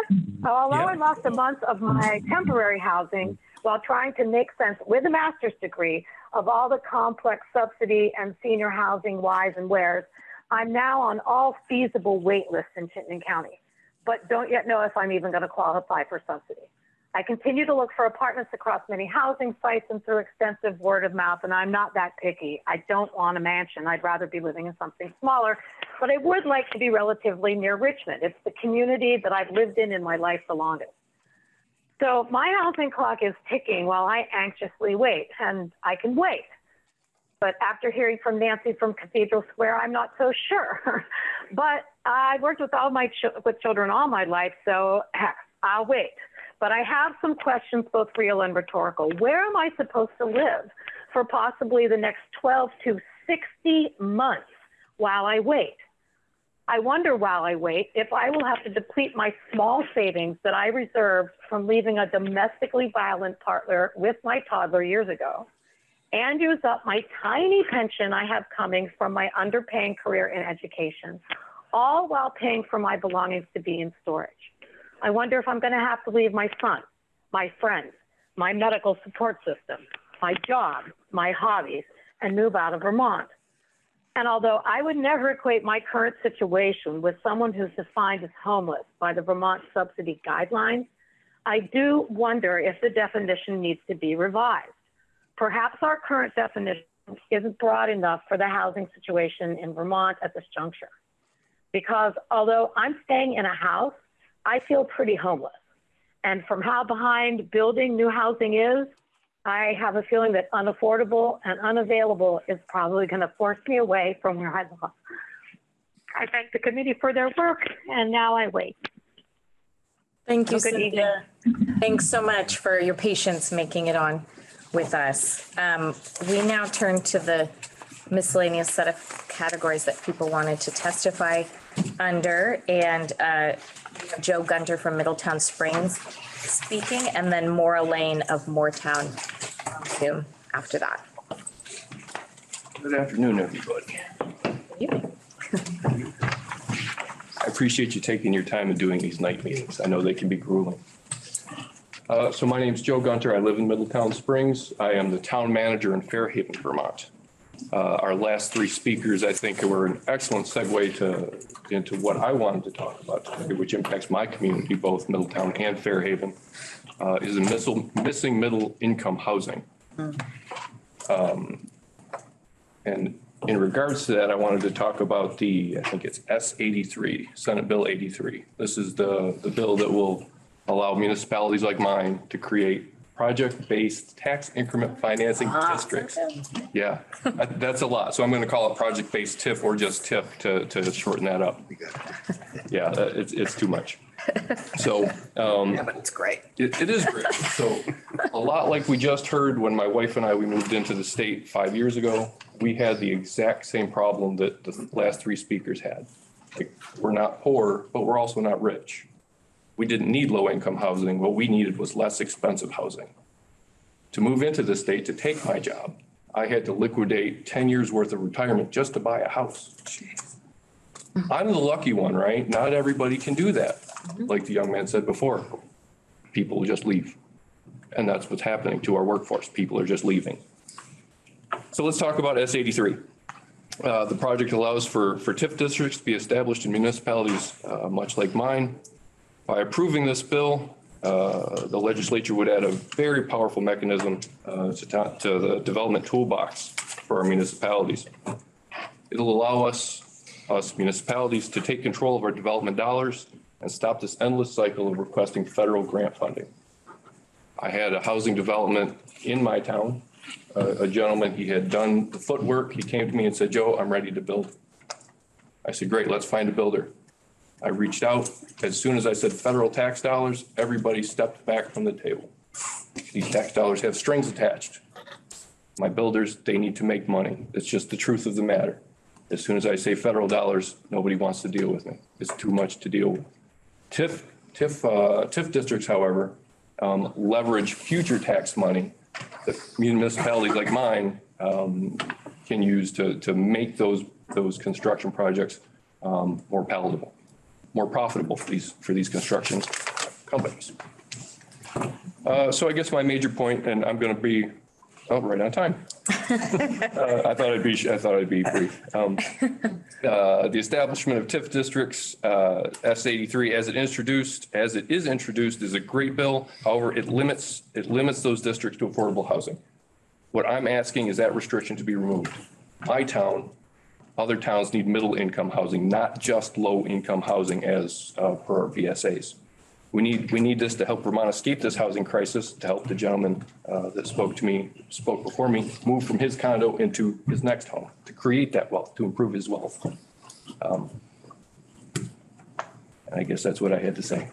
Okay. Thanks, everybody. Thank Thanks, you. thanks, Joe. You get the gold star for coming the farthest. Yeah. Um, Maura Lane from Moretown on Zoom. And then after that, I believe Susan Aronoff is also on Zoom. Oh, she's in the room. Okay, okay. Hi, Maura. You're muted. Okay, Yes. okay. Okay, um, such moving stories I've been listening to. Um, you have a big problem with housing. My son Philip Kellum is 42 years old. He has Down syndrome. He will never be able to live independently. The only option for him is shared living, which is essentially adult foster care.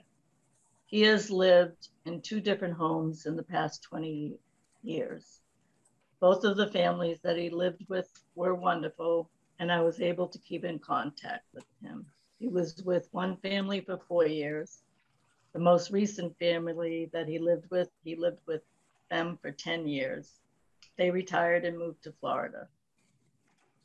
Philip is heartbroken, heartbroken about having to leave this family. This disruption in his life has left him depressed and anxious. I am hoping that in the future there would be service supported housing for people like Philip, where he could live with his peers, someplace that he could call home, a place that he would not have to leave. He will very likely outlive us. It would be great if money could be appropriated towards housing for this very vulnerable population, people like Philip. Thank you. Thank you, Mara. Thank you. Um, so Susan Aronoff here. in- Yeah, she's on Zoom on this. one. Okay, okay. Uh, Susan Aronoff on Zoom. No. No. It's nothing we're doing. Yeah, we look pretty bright on the screen. No, I know, but Oh, like, yeah, maybe that on their screen.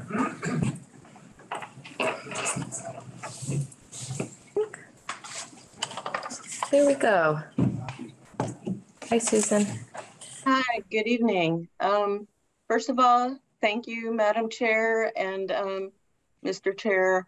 I think the hearing that you're holding uh, this evening is just so important, and thank you to all the committee members who are hanging in there uh, this long. My name is Susan Aronoff. Um, I am a state employee. I'm testifying this evening on behalf of the Vermont Developmental Disabilities Council. For those who are not familiar with it, I would direct you to my written statement, just a brief overview in the interest of time. Um, I am the rare state employee whose position is entirely federally funded. I'm a creature of federal of a federal law, the um, Dis Developmental Disabilities Rights Act. All 50 states have a council. We exist to bring the voice of the lived experience of people with developmental disabilities to you.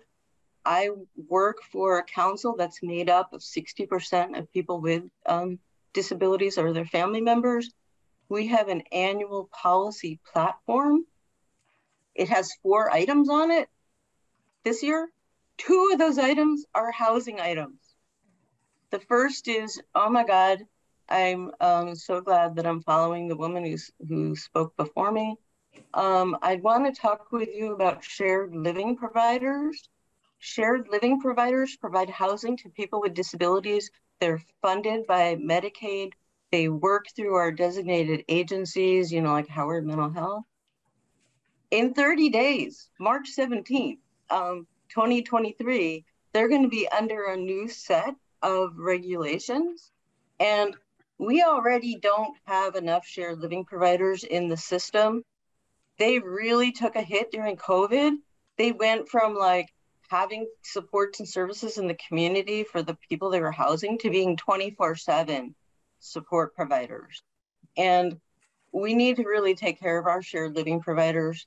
Um, I would like to see them, our, our, proposal is to see them included in some of the newer um, housing programs so that people who need to make renovations on their homes um, to comply with the new rules can, and they're housing people with disabilities can get funding to do that. We would, the set, that's one of our policy planks. The other is to please include housing for people with disabilities in all housing policies and programs. Um, you, have been hearing about the shortage of housing for workers. Ima imagine if you were a worker with a disability. Imagine if you're someone with newly acquired disability and you want to age in place. That home access program that um, Patty Tedesco described is great, but it's very limited. We need more. Um, thank you. Thank you for your uh, service and for your support of uh, thank you. Thank you. Um, so I believe uh, we have a few people on Zoom coming up. Michael Monte of Burlington, and then David Fry and Michael Krancer. Michael. Thank you, Madam Chair, and thank you, members of the legislature, for your service to Vermont. Um, it's appreciated, really. I know and understand how much work it is to do the work you do and the difficult choices and issues that you had to face. I am the CEO of Champlain Housing Trust. We work here in Northwest Vermont, do provide some services to the entire state through some mobile home lending and some other programs. Uh, as we work, in, uh, uh, and I did provide some information, I think, to members of this committee, uh, the joint committee. Um, as we think about affordable housing and the need to address affordable housing, we never think of it as either or, but and and both. I think it's really important to understand that the, the range of points of view that you've heard tonight, which go comes from people with disability, developmental disabilities to, to folks who are facing homelessness, are all really in a range of continuum. We think of it of our work as a housing continuum of working from homelessness to rental housing to home ownership. And when we think of that, we think of the opportunities that we provide people to move from those, you know, from the streets into permanent affordable housing, rental housing, and to the opportunity that home ownership provides. When we think about these things, we think of those as, as homelessness as providing people with safety and safety. When we think of home ownership, we think about that as mobility and wealth building. When we think about rental housing, we think of it in terms of security, the ability to make sure that people are safe in the, those homes, secure in those homes, and have a rent and, a, and an owner that is going to make sure that they are not displaced. You heard testimony just recently about someone who was simply evicted. We don't do that unless there's serious cause for that. We provide permanently affordable housing. And I think I want to say that that's a very important policy that the state of Vermont has, and how critical it has been, and how different that is from other states which don't do that. In other states where they're creating affordable housing, where permanent affordability is not the policy, they lose as much affordable housing every year that as they gain. They actually take steps backwards as they create more affordable housing because there is a loss. That happened in Burlington, Vermont in the 80s, or almost did with Northgate. But because of the Northgate experience, where 330 families were going to be evicted from their homes because it wasn't permanently affordable, the state of Vermont created a policy that permanent affordability is a critical, important policy to follow. We follow that. And I think it's important for you to understand that that provides permanent security to people. The folks in our rental housing have the opportunity to move into home ownership or to move to other rental housing if they need to. Let me just say that in order to accomplish this, your generosity over the past couple of years has been enormous. It's been essential. It's been critical. And what I would ask you to do is to continue to provide funding for the creation of more housing, more programs for people who need homelessness, more who are in homelessness, more people so they can move into home ownership. And with that, thank you very much. I appreciate your time. Thank you, Michael. Um, so we have David Fry and then Michael Krancer. On, Is he, is he not here? yeah, he's not here yet.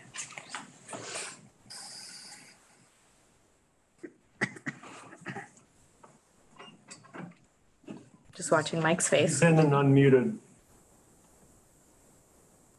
Oh, Oh, I'm here. Hi. Hi, Mr. Fry. Um, thank you for letting me come on tonight and, uh, thank you, everybody. I live in North, North Ferrisburgh. My name is David Fry. Um, I'm the member of a, of the Vermont Devel, Devel, Del, Developmental Disability Council. I'm the, I'm on their policy committee. Um, I'm going to share you some experience I've had with home care living providers. My first one that I moved in with, I didn't feel comfortable living there because I'm gay. And I really felt that that one didn't, uh, ex- they didn't, they just didn't, they, they didn't care about me because I was gay and I was pretty much sheltered and I pretty much left my door closed. The second one, I went to the case manager and I said, I really would like to live with two men because I'm gay and you know, I I wanted that that experiment with with with living two other gay men that that were in the system. So they put me into that and you know i went to work every single day. I work at wake robin. I've been there 15 years. And i came home and you know i would always have my door door closed at, when i was gone and they would go into my living quarters and telling me that that i need to pick up my room or my, my bed you you know was smelling or i went came home one day and they gave me some talcum powder to put talcum powder in my shoes because my feet stunk. And and so and then I knew at the the end that I just had enough of that home care provider and then I went into somebody else's home and the boss was my case manager so there was a conflict of interest of keeping my ca- my case manager. I liked my case manager. I had to I had to move on out of that home and then I lived with somebody and then now uh, I'm living on my own. So I just wanted to let you know that I like living on my own, but then during during the pandemic, I'm not getting full services that I should be getting. I mean, having someone come to my home and you know, like checking my bills or what's coming in the mail that I don't understand and it sometimes it's hard living on your own, but I'm doing it. Thank you anyhow. Let me uh, testify. Thanks, Mr. Thank Fry. you. Thank you, David. It. Okay, we have Michael Krancer of Stowe. And if Matthew LaFleur is uh, on Zoom, he's on deck, but we don't believe we have him yet. Thank you, Michael. And you're muted. I'm not sure if you knew that. Sorry about that. Thought I unmuted. Thank, thanks for uh, the opportunity to testify. I, I've had a house in Stowe for 10 years. I split time between Stowe and the Philadelphia area. My mother-in-law's lived here for 40 years in Morrisville. My daughter lived down in southern Vermont. My background is that uh, I was a lawyer. I was the chief environmental regulator of the state of Pennsylvania. I served in the governor's cabinet. I was judge and chief judge of the state environmental court. Uh, so I have some background in that. Um, what what is the state of housing here in Vermont? Well, I think we've heard it's it's really bad.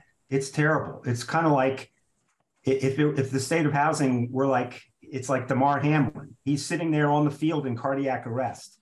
But more importantly, all these people who have testified are Damar Hamlins, and only you, the legislature, can help. So what do I see as the elephant in the room? The elephant in the room is absentee short-term rentals. These are problems that have tentacles in every area we've heard tonight. Landlord abuse. And I'm not saying all landlords are bad, but we heard Cynthia Haviland's story. Well, I bet you donuts the dollar that landlord simply wanted to convert to short-term rentals for absentee owners. We have seniors in peril. We have homeless people in peril. We have rich versus poor because these absentee short-term renters buy houses second, third, fourth. In Stowe, we have a guy who owns 16 of the houses, and he's out of state. He's, he's out of country, actually. Um, so these are the problems that are driving the drying up of the working force. All of these other issues we've we've talked about today, and I have experience in this. In my neighborhood, I had to go to court and sue to shut down a party house in my quiet residential neighborhood, and I took that burden and I went to court and we won, and we shut them down. It was an offense to our neighborhood.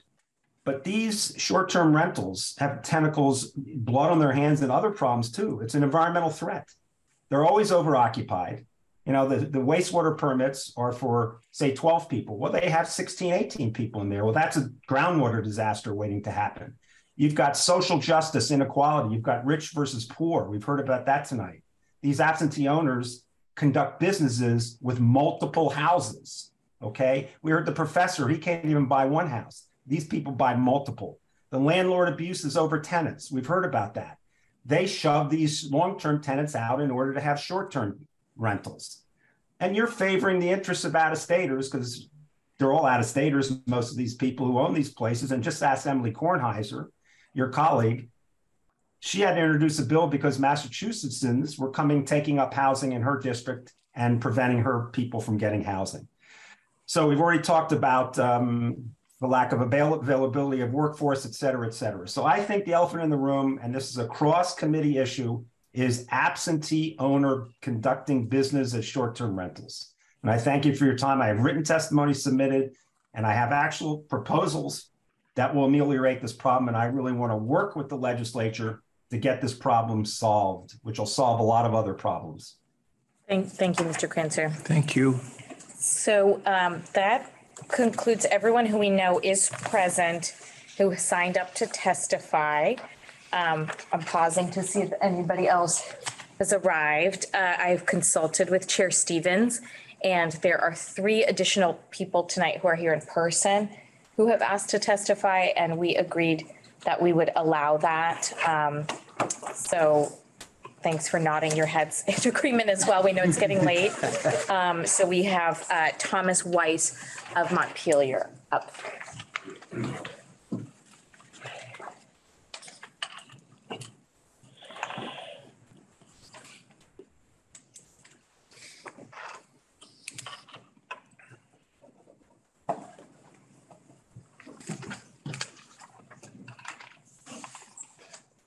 Good evening.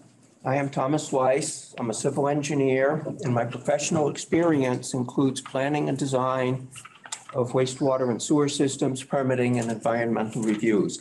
And I truly thank you for squeezing me in at the very last minute to speak to you here this evening.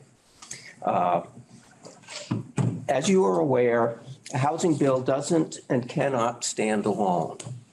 Uh, Other concepts that support sustainable, affordable housing should be integrated into any bill.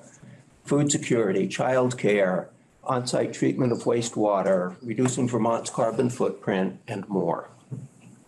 Today, I present seven recommendations for your consideration. First, require that new housing does not add to greenhouse gas emissions. Uh, Senate Natural Resources and Energy is working on a bill uh, about reducing thermal loads. And uh, you can either support that effort by, by possibly putting something into your bill on thermal loads or, or at least coordinating and understanding what they're doing and how these 40,000 new housing units are going to uh, affect thermal loads. And the stretch code and commercial uh, building energy standards are inadequate to reduce those thermal loads by the levels we'll need to do to, to meet the, the state law. Uh, Retain existing Act 250 jurisdiction over priority housing projects. Perhaps 80,000 to 100,000 people could reside in the 40,000 units that are being talked about uh, representing a 15% increase in population. And that potential growth exceeds that of Vermont's highest growth decades, which were 1960 to 1980. So permitting for these units needs to be comprehensive and robust. Act 250 does that.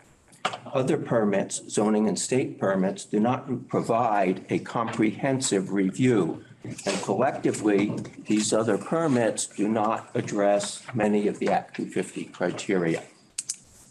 Expand Act 250 jurisdiction outside the Chapter 76A designations. The projection of 40,000 units is something like a quadrupling of the rate of recent housing construction. Even if 30,000 units go into the compact areas, that leaves 10,000 new units in the rural countryside, which means no reduction of the pressure on the rural countryside. Retain state and over- oversight and connections to municipal water and wastewater systems. I looked into this in 2021. Those permits would not, if they weren't required, would not decrease overall permitting time because of the other permits needed. The permit fee has a median cost of $175 per housing unit, not much, but it is something. And the state oversight has benefits. Uh, Number five, present, Mr. Weiss, we just probably need your concluding thoughts at this. Point. Right, I've got two more sentences though. Okay. Prevent the isolation zones of water and sewer systems from encroaching on a neighbor's property where municipal water and sewer are not available. And provide access to sunlight for gardens. Sunlight. Okay, I think we can do that. Um, And I can provide something in a Thank little more detail to both committees. uh, Righty. yeah, Based on what I've told you. So Thank Thank you very much for allowing me to testify this, or speak this evening. Thank you for coming in. Sorry, that's the best. Um, and we have Stephen Whitaker of Montpelier. Want to keep us focused on housing? Thank you for fitting me in. Stephen Whitaker, Montpelier.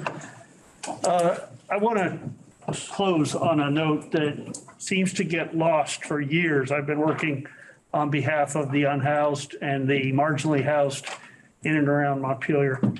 We still have today people sleeping in stairways, in cars, in basements, in churches with or without permission, and in vestibules of commercial buildings. Uh, There are people that don't fit into the warehousing and the hotels program.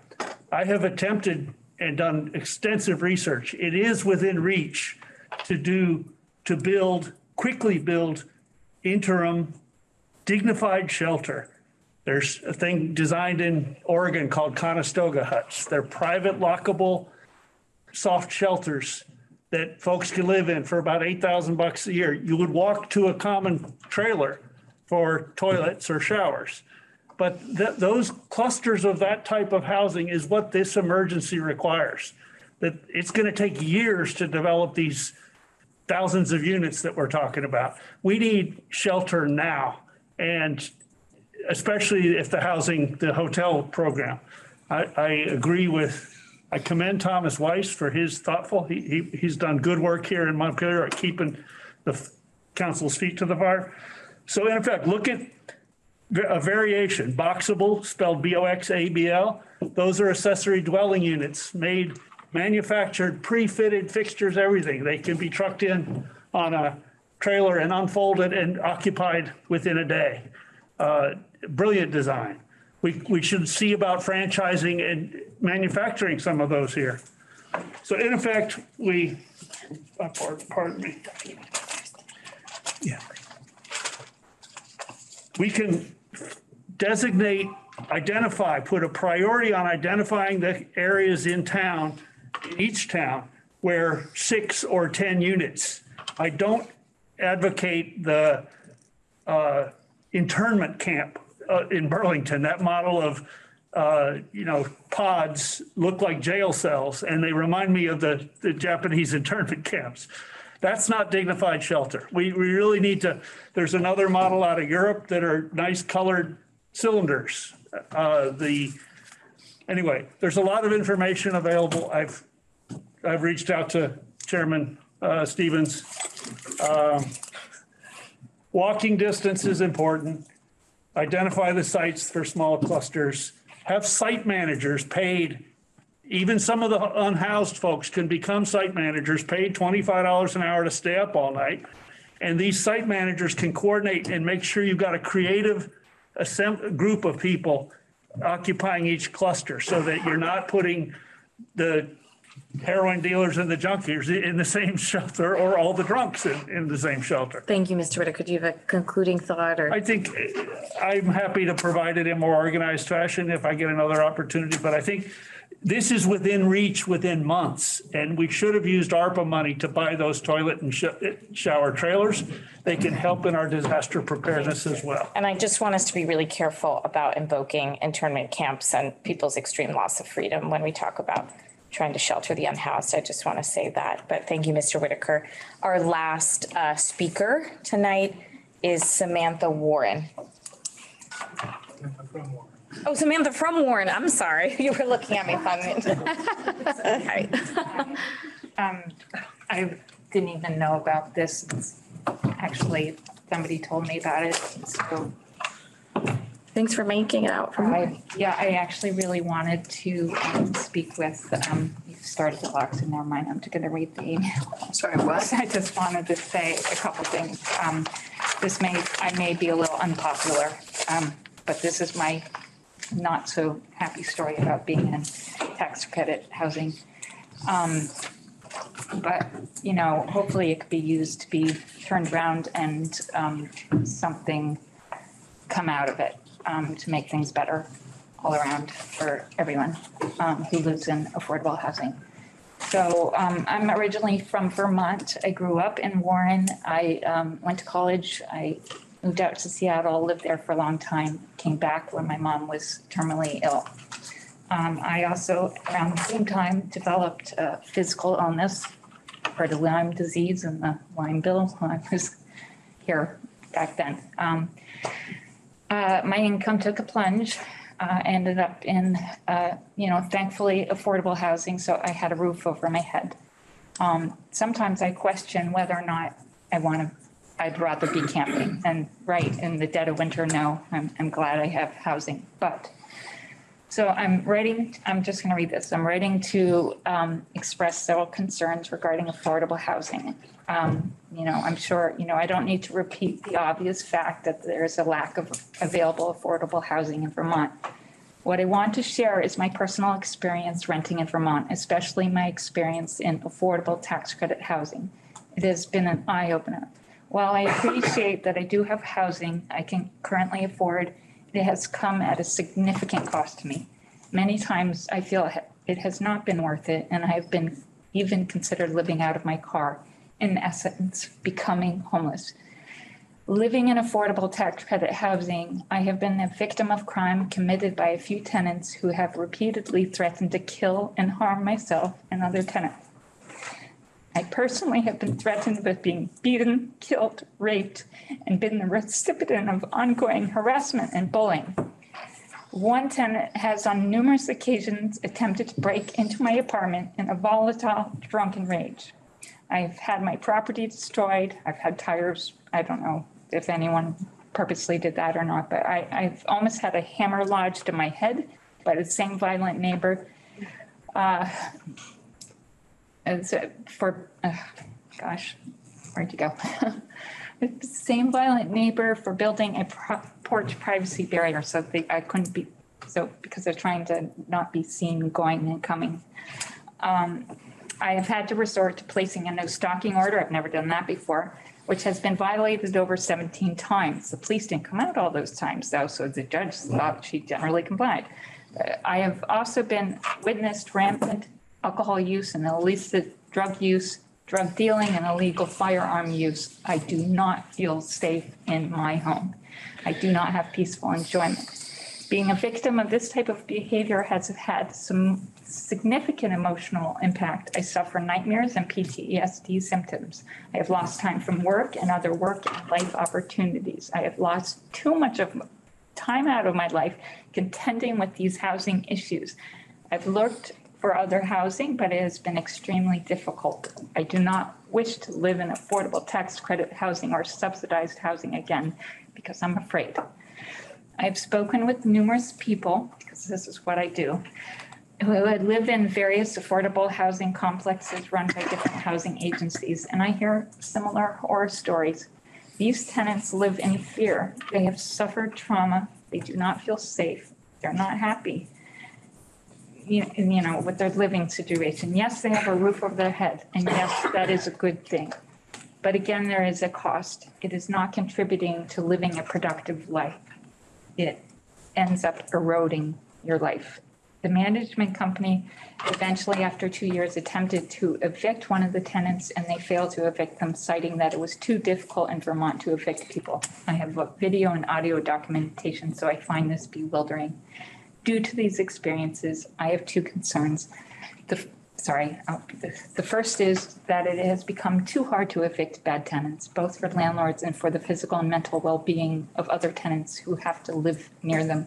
The second is that while I believe that everyone should have opportunity for housing and appreciate the initiative to home the homeless, I feel many homeless are not ready to be housed in the community housing. Housing the homeless who have significant drug addiction, who exhibit disruptive behaviors and mental health issues creates very unhealthy conditions for those also who live near them. I believe there needs to be more transitional housing and social services to address these issues. This would also be housing for tenants with significant behavior problems, people who already live in housing.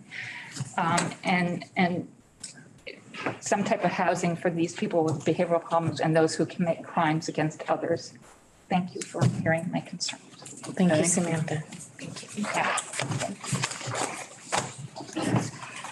And that completes our list and the folks who have come and, and offered their time. I would like to really, um, on the, on behalf of the General Housing Committee in the House, um, I'd just like to thank everybody who came out, um, including the people who stayed home at Zoom and, and shared their stories. um, And folks who came here to, to this room, um, building tonight. I can't tell you how much it means to hear um, stories like Samantha's. And, you know, it is not what we seek to do, but um, but it is real to uh, for you and for your neighbors. And so I appreciate you having the courage to come down and sharing your story with us tonight. And we will. Um, our committee will be starting work on a housing bill um, starting next week. Um, So we'll be following the Senate's lead on some of the housing issues that we talked about tonight. But I would also just like to thank staff who helped us set this up tonight and has worked as long as, as, uh, longer than we have today, because I think we got a break.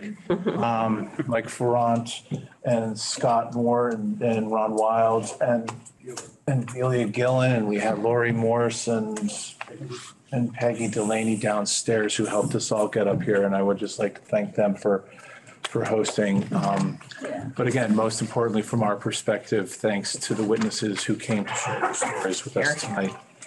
Yeah, I just, um, I'd like to echo, uh, those thanks and, um, speak to, uh, our process a little bit. First, I, I do want to thank our counterparts in the House. Uh, I want to thank my committee. We've been living and breathing this housing bill since, uh, the session started. Um, this has been really illuminating and helpful tonight and will probably add a little bit more dimension to our work that we hope to conclude next week um, with a vote. So this can go on to the other committees of jurisdiction and over to the House. But we, in our final deliberations, have thought of pieces that we might pass over to the House, um, you know, to, to get your work on it since we really took on exclusionary zoning and uh, that has taken up a lot of our time. But uh, we're really grateful to hear that the House is going to work on supportive housing, recovery housing, landlord tenant issues, um, some of the things that folks may have spoken to tonight that they might not see reflected as deeply in our bill, but hopefully will be part of uh, the final product between both of our committees. Um, we have a lot of people who submitted written testimony who are who were here tonight, who are not here tonight. I want to thank Scott, our committee assistant. I think you put at least 50 new uh, written submissions onto our website that we hope will be of benefit to you all and other legislators as this work continues. Um, you know, finally, in, in our thanks to everyone who testified, um, often in our committee, we've said that the most voiceless in this process are the unhoused. They're not voting in these communities right now. They're not necessarily at every planning commission or select board meeting because they are sleeping in cars. They are precariously housed. They are in motels. They are not in our state yet. They are children. Um, and, you know, this has been really valuable because we've heard more of those voices. And we know that we've also heard from organizations that do their best to bring those voices to us when those folks can't be present themselves. It takes immense bravery to share some of the stories that were shared tonight. And we deeply appreciate people's courage and willingness uh, to go on this journey to alleviate our housing crisis and make sure everyone in Vermont has a home. So thank you very much. And uh, I hope everyone gets some rest now.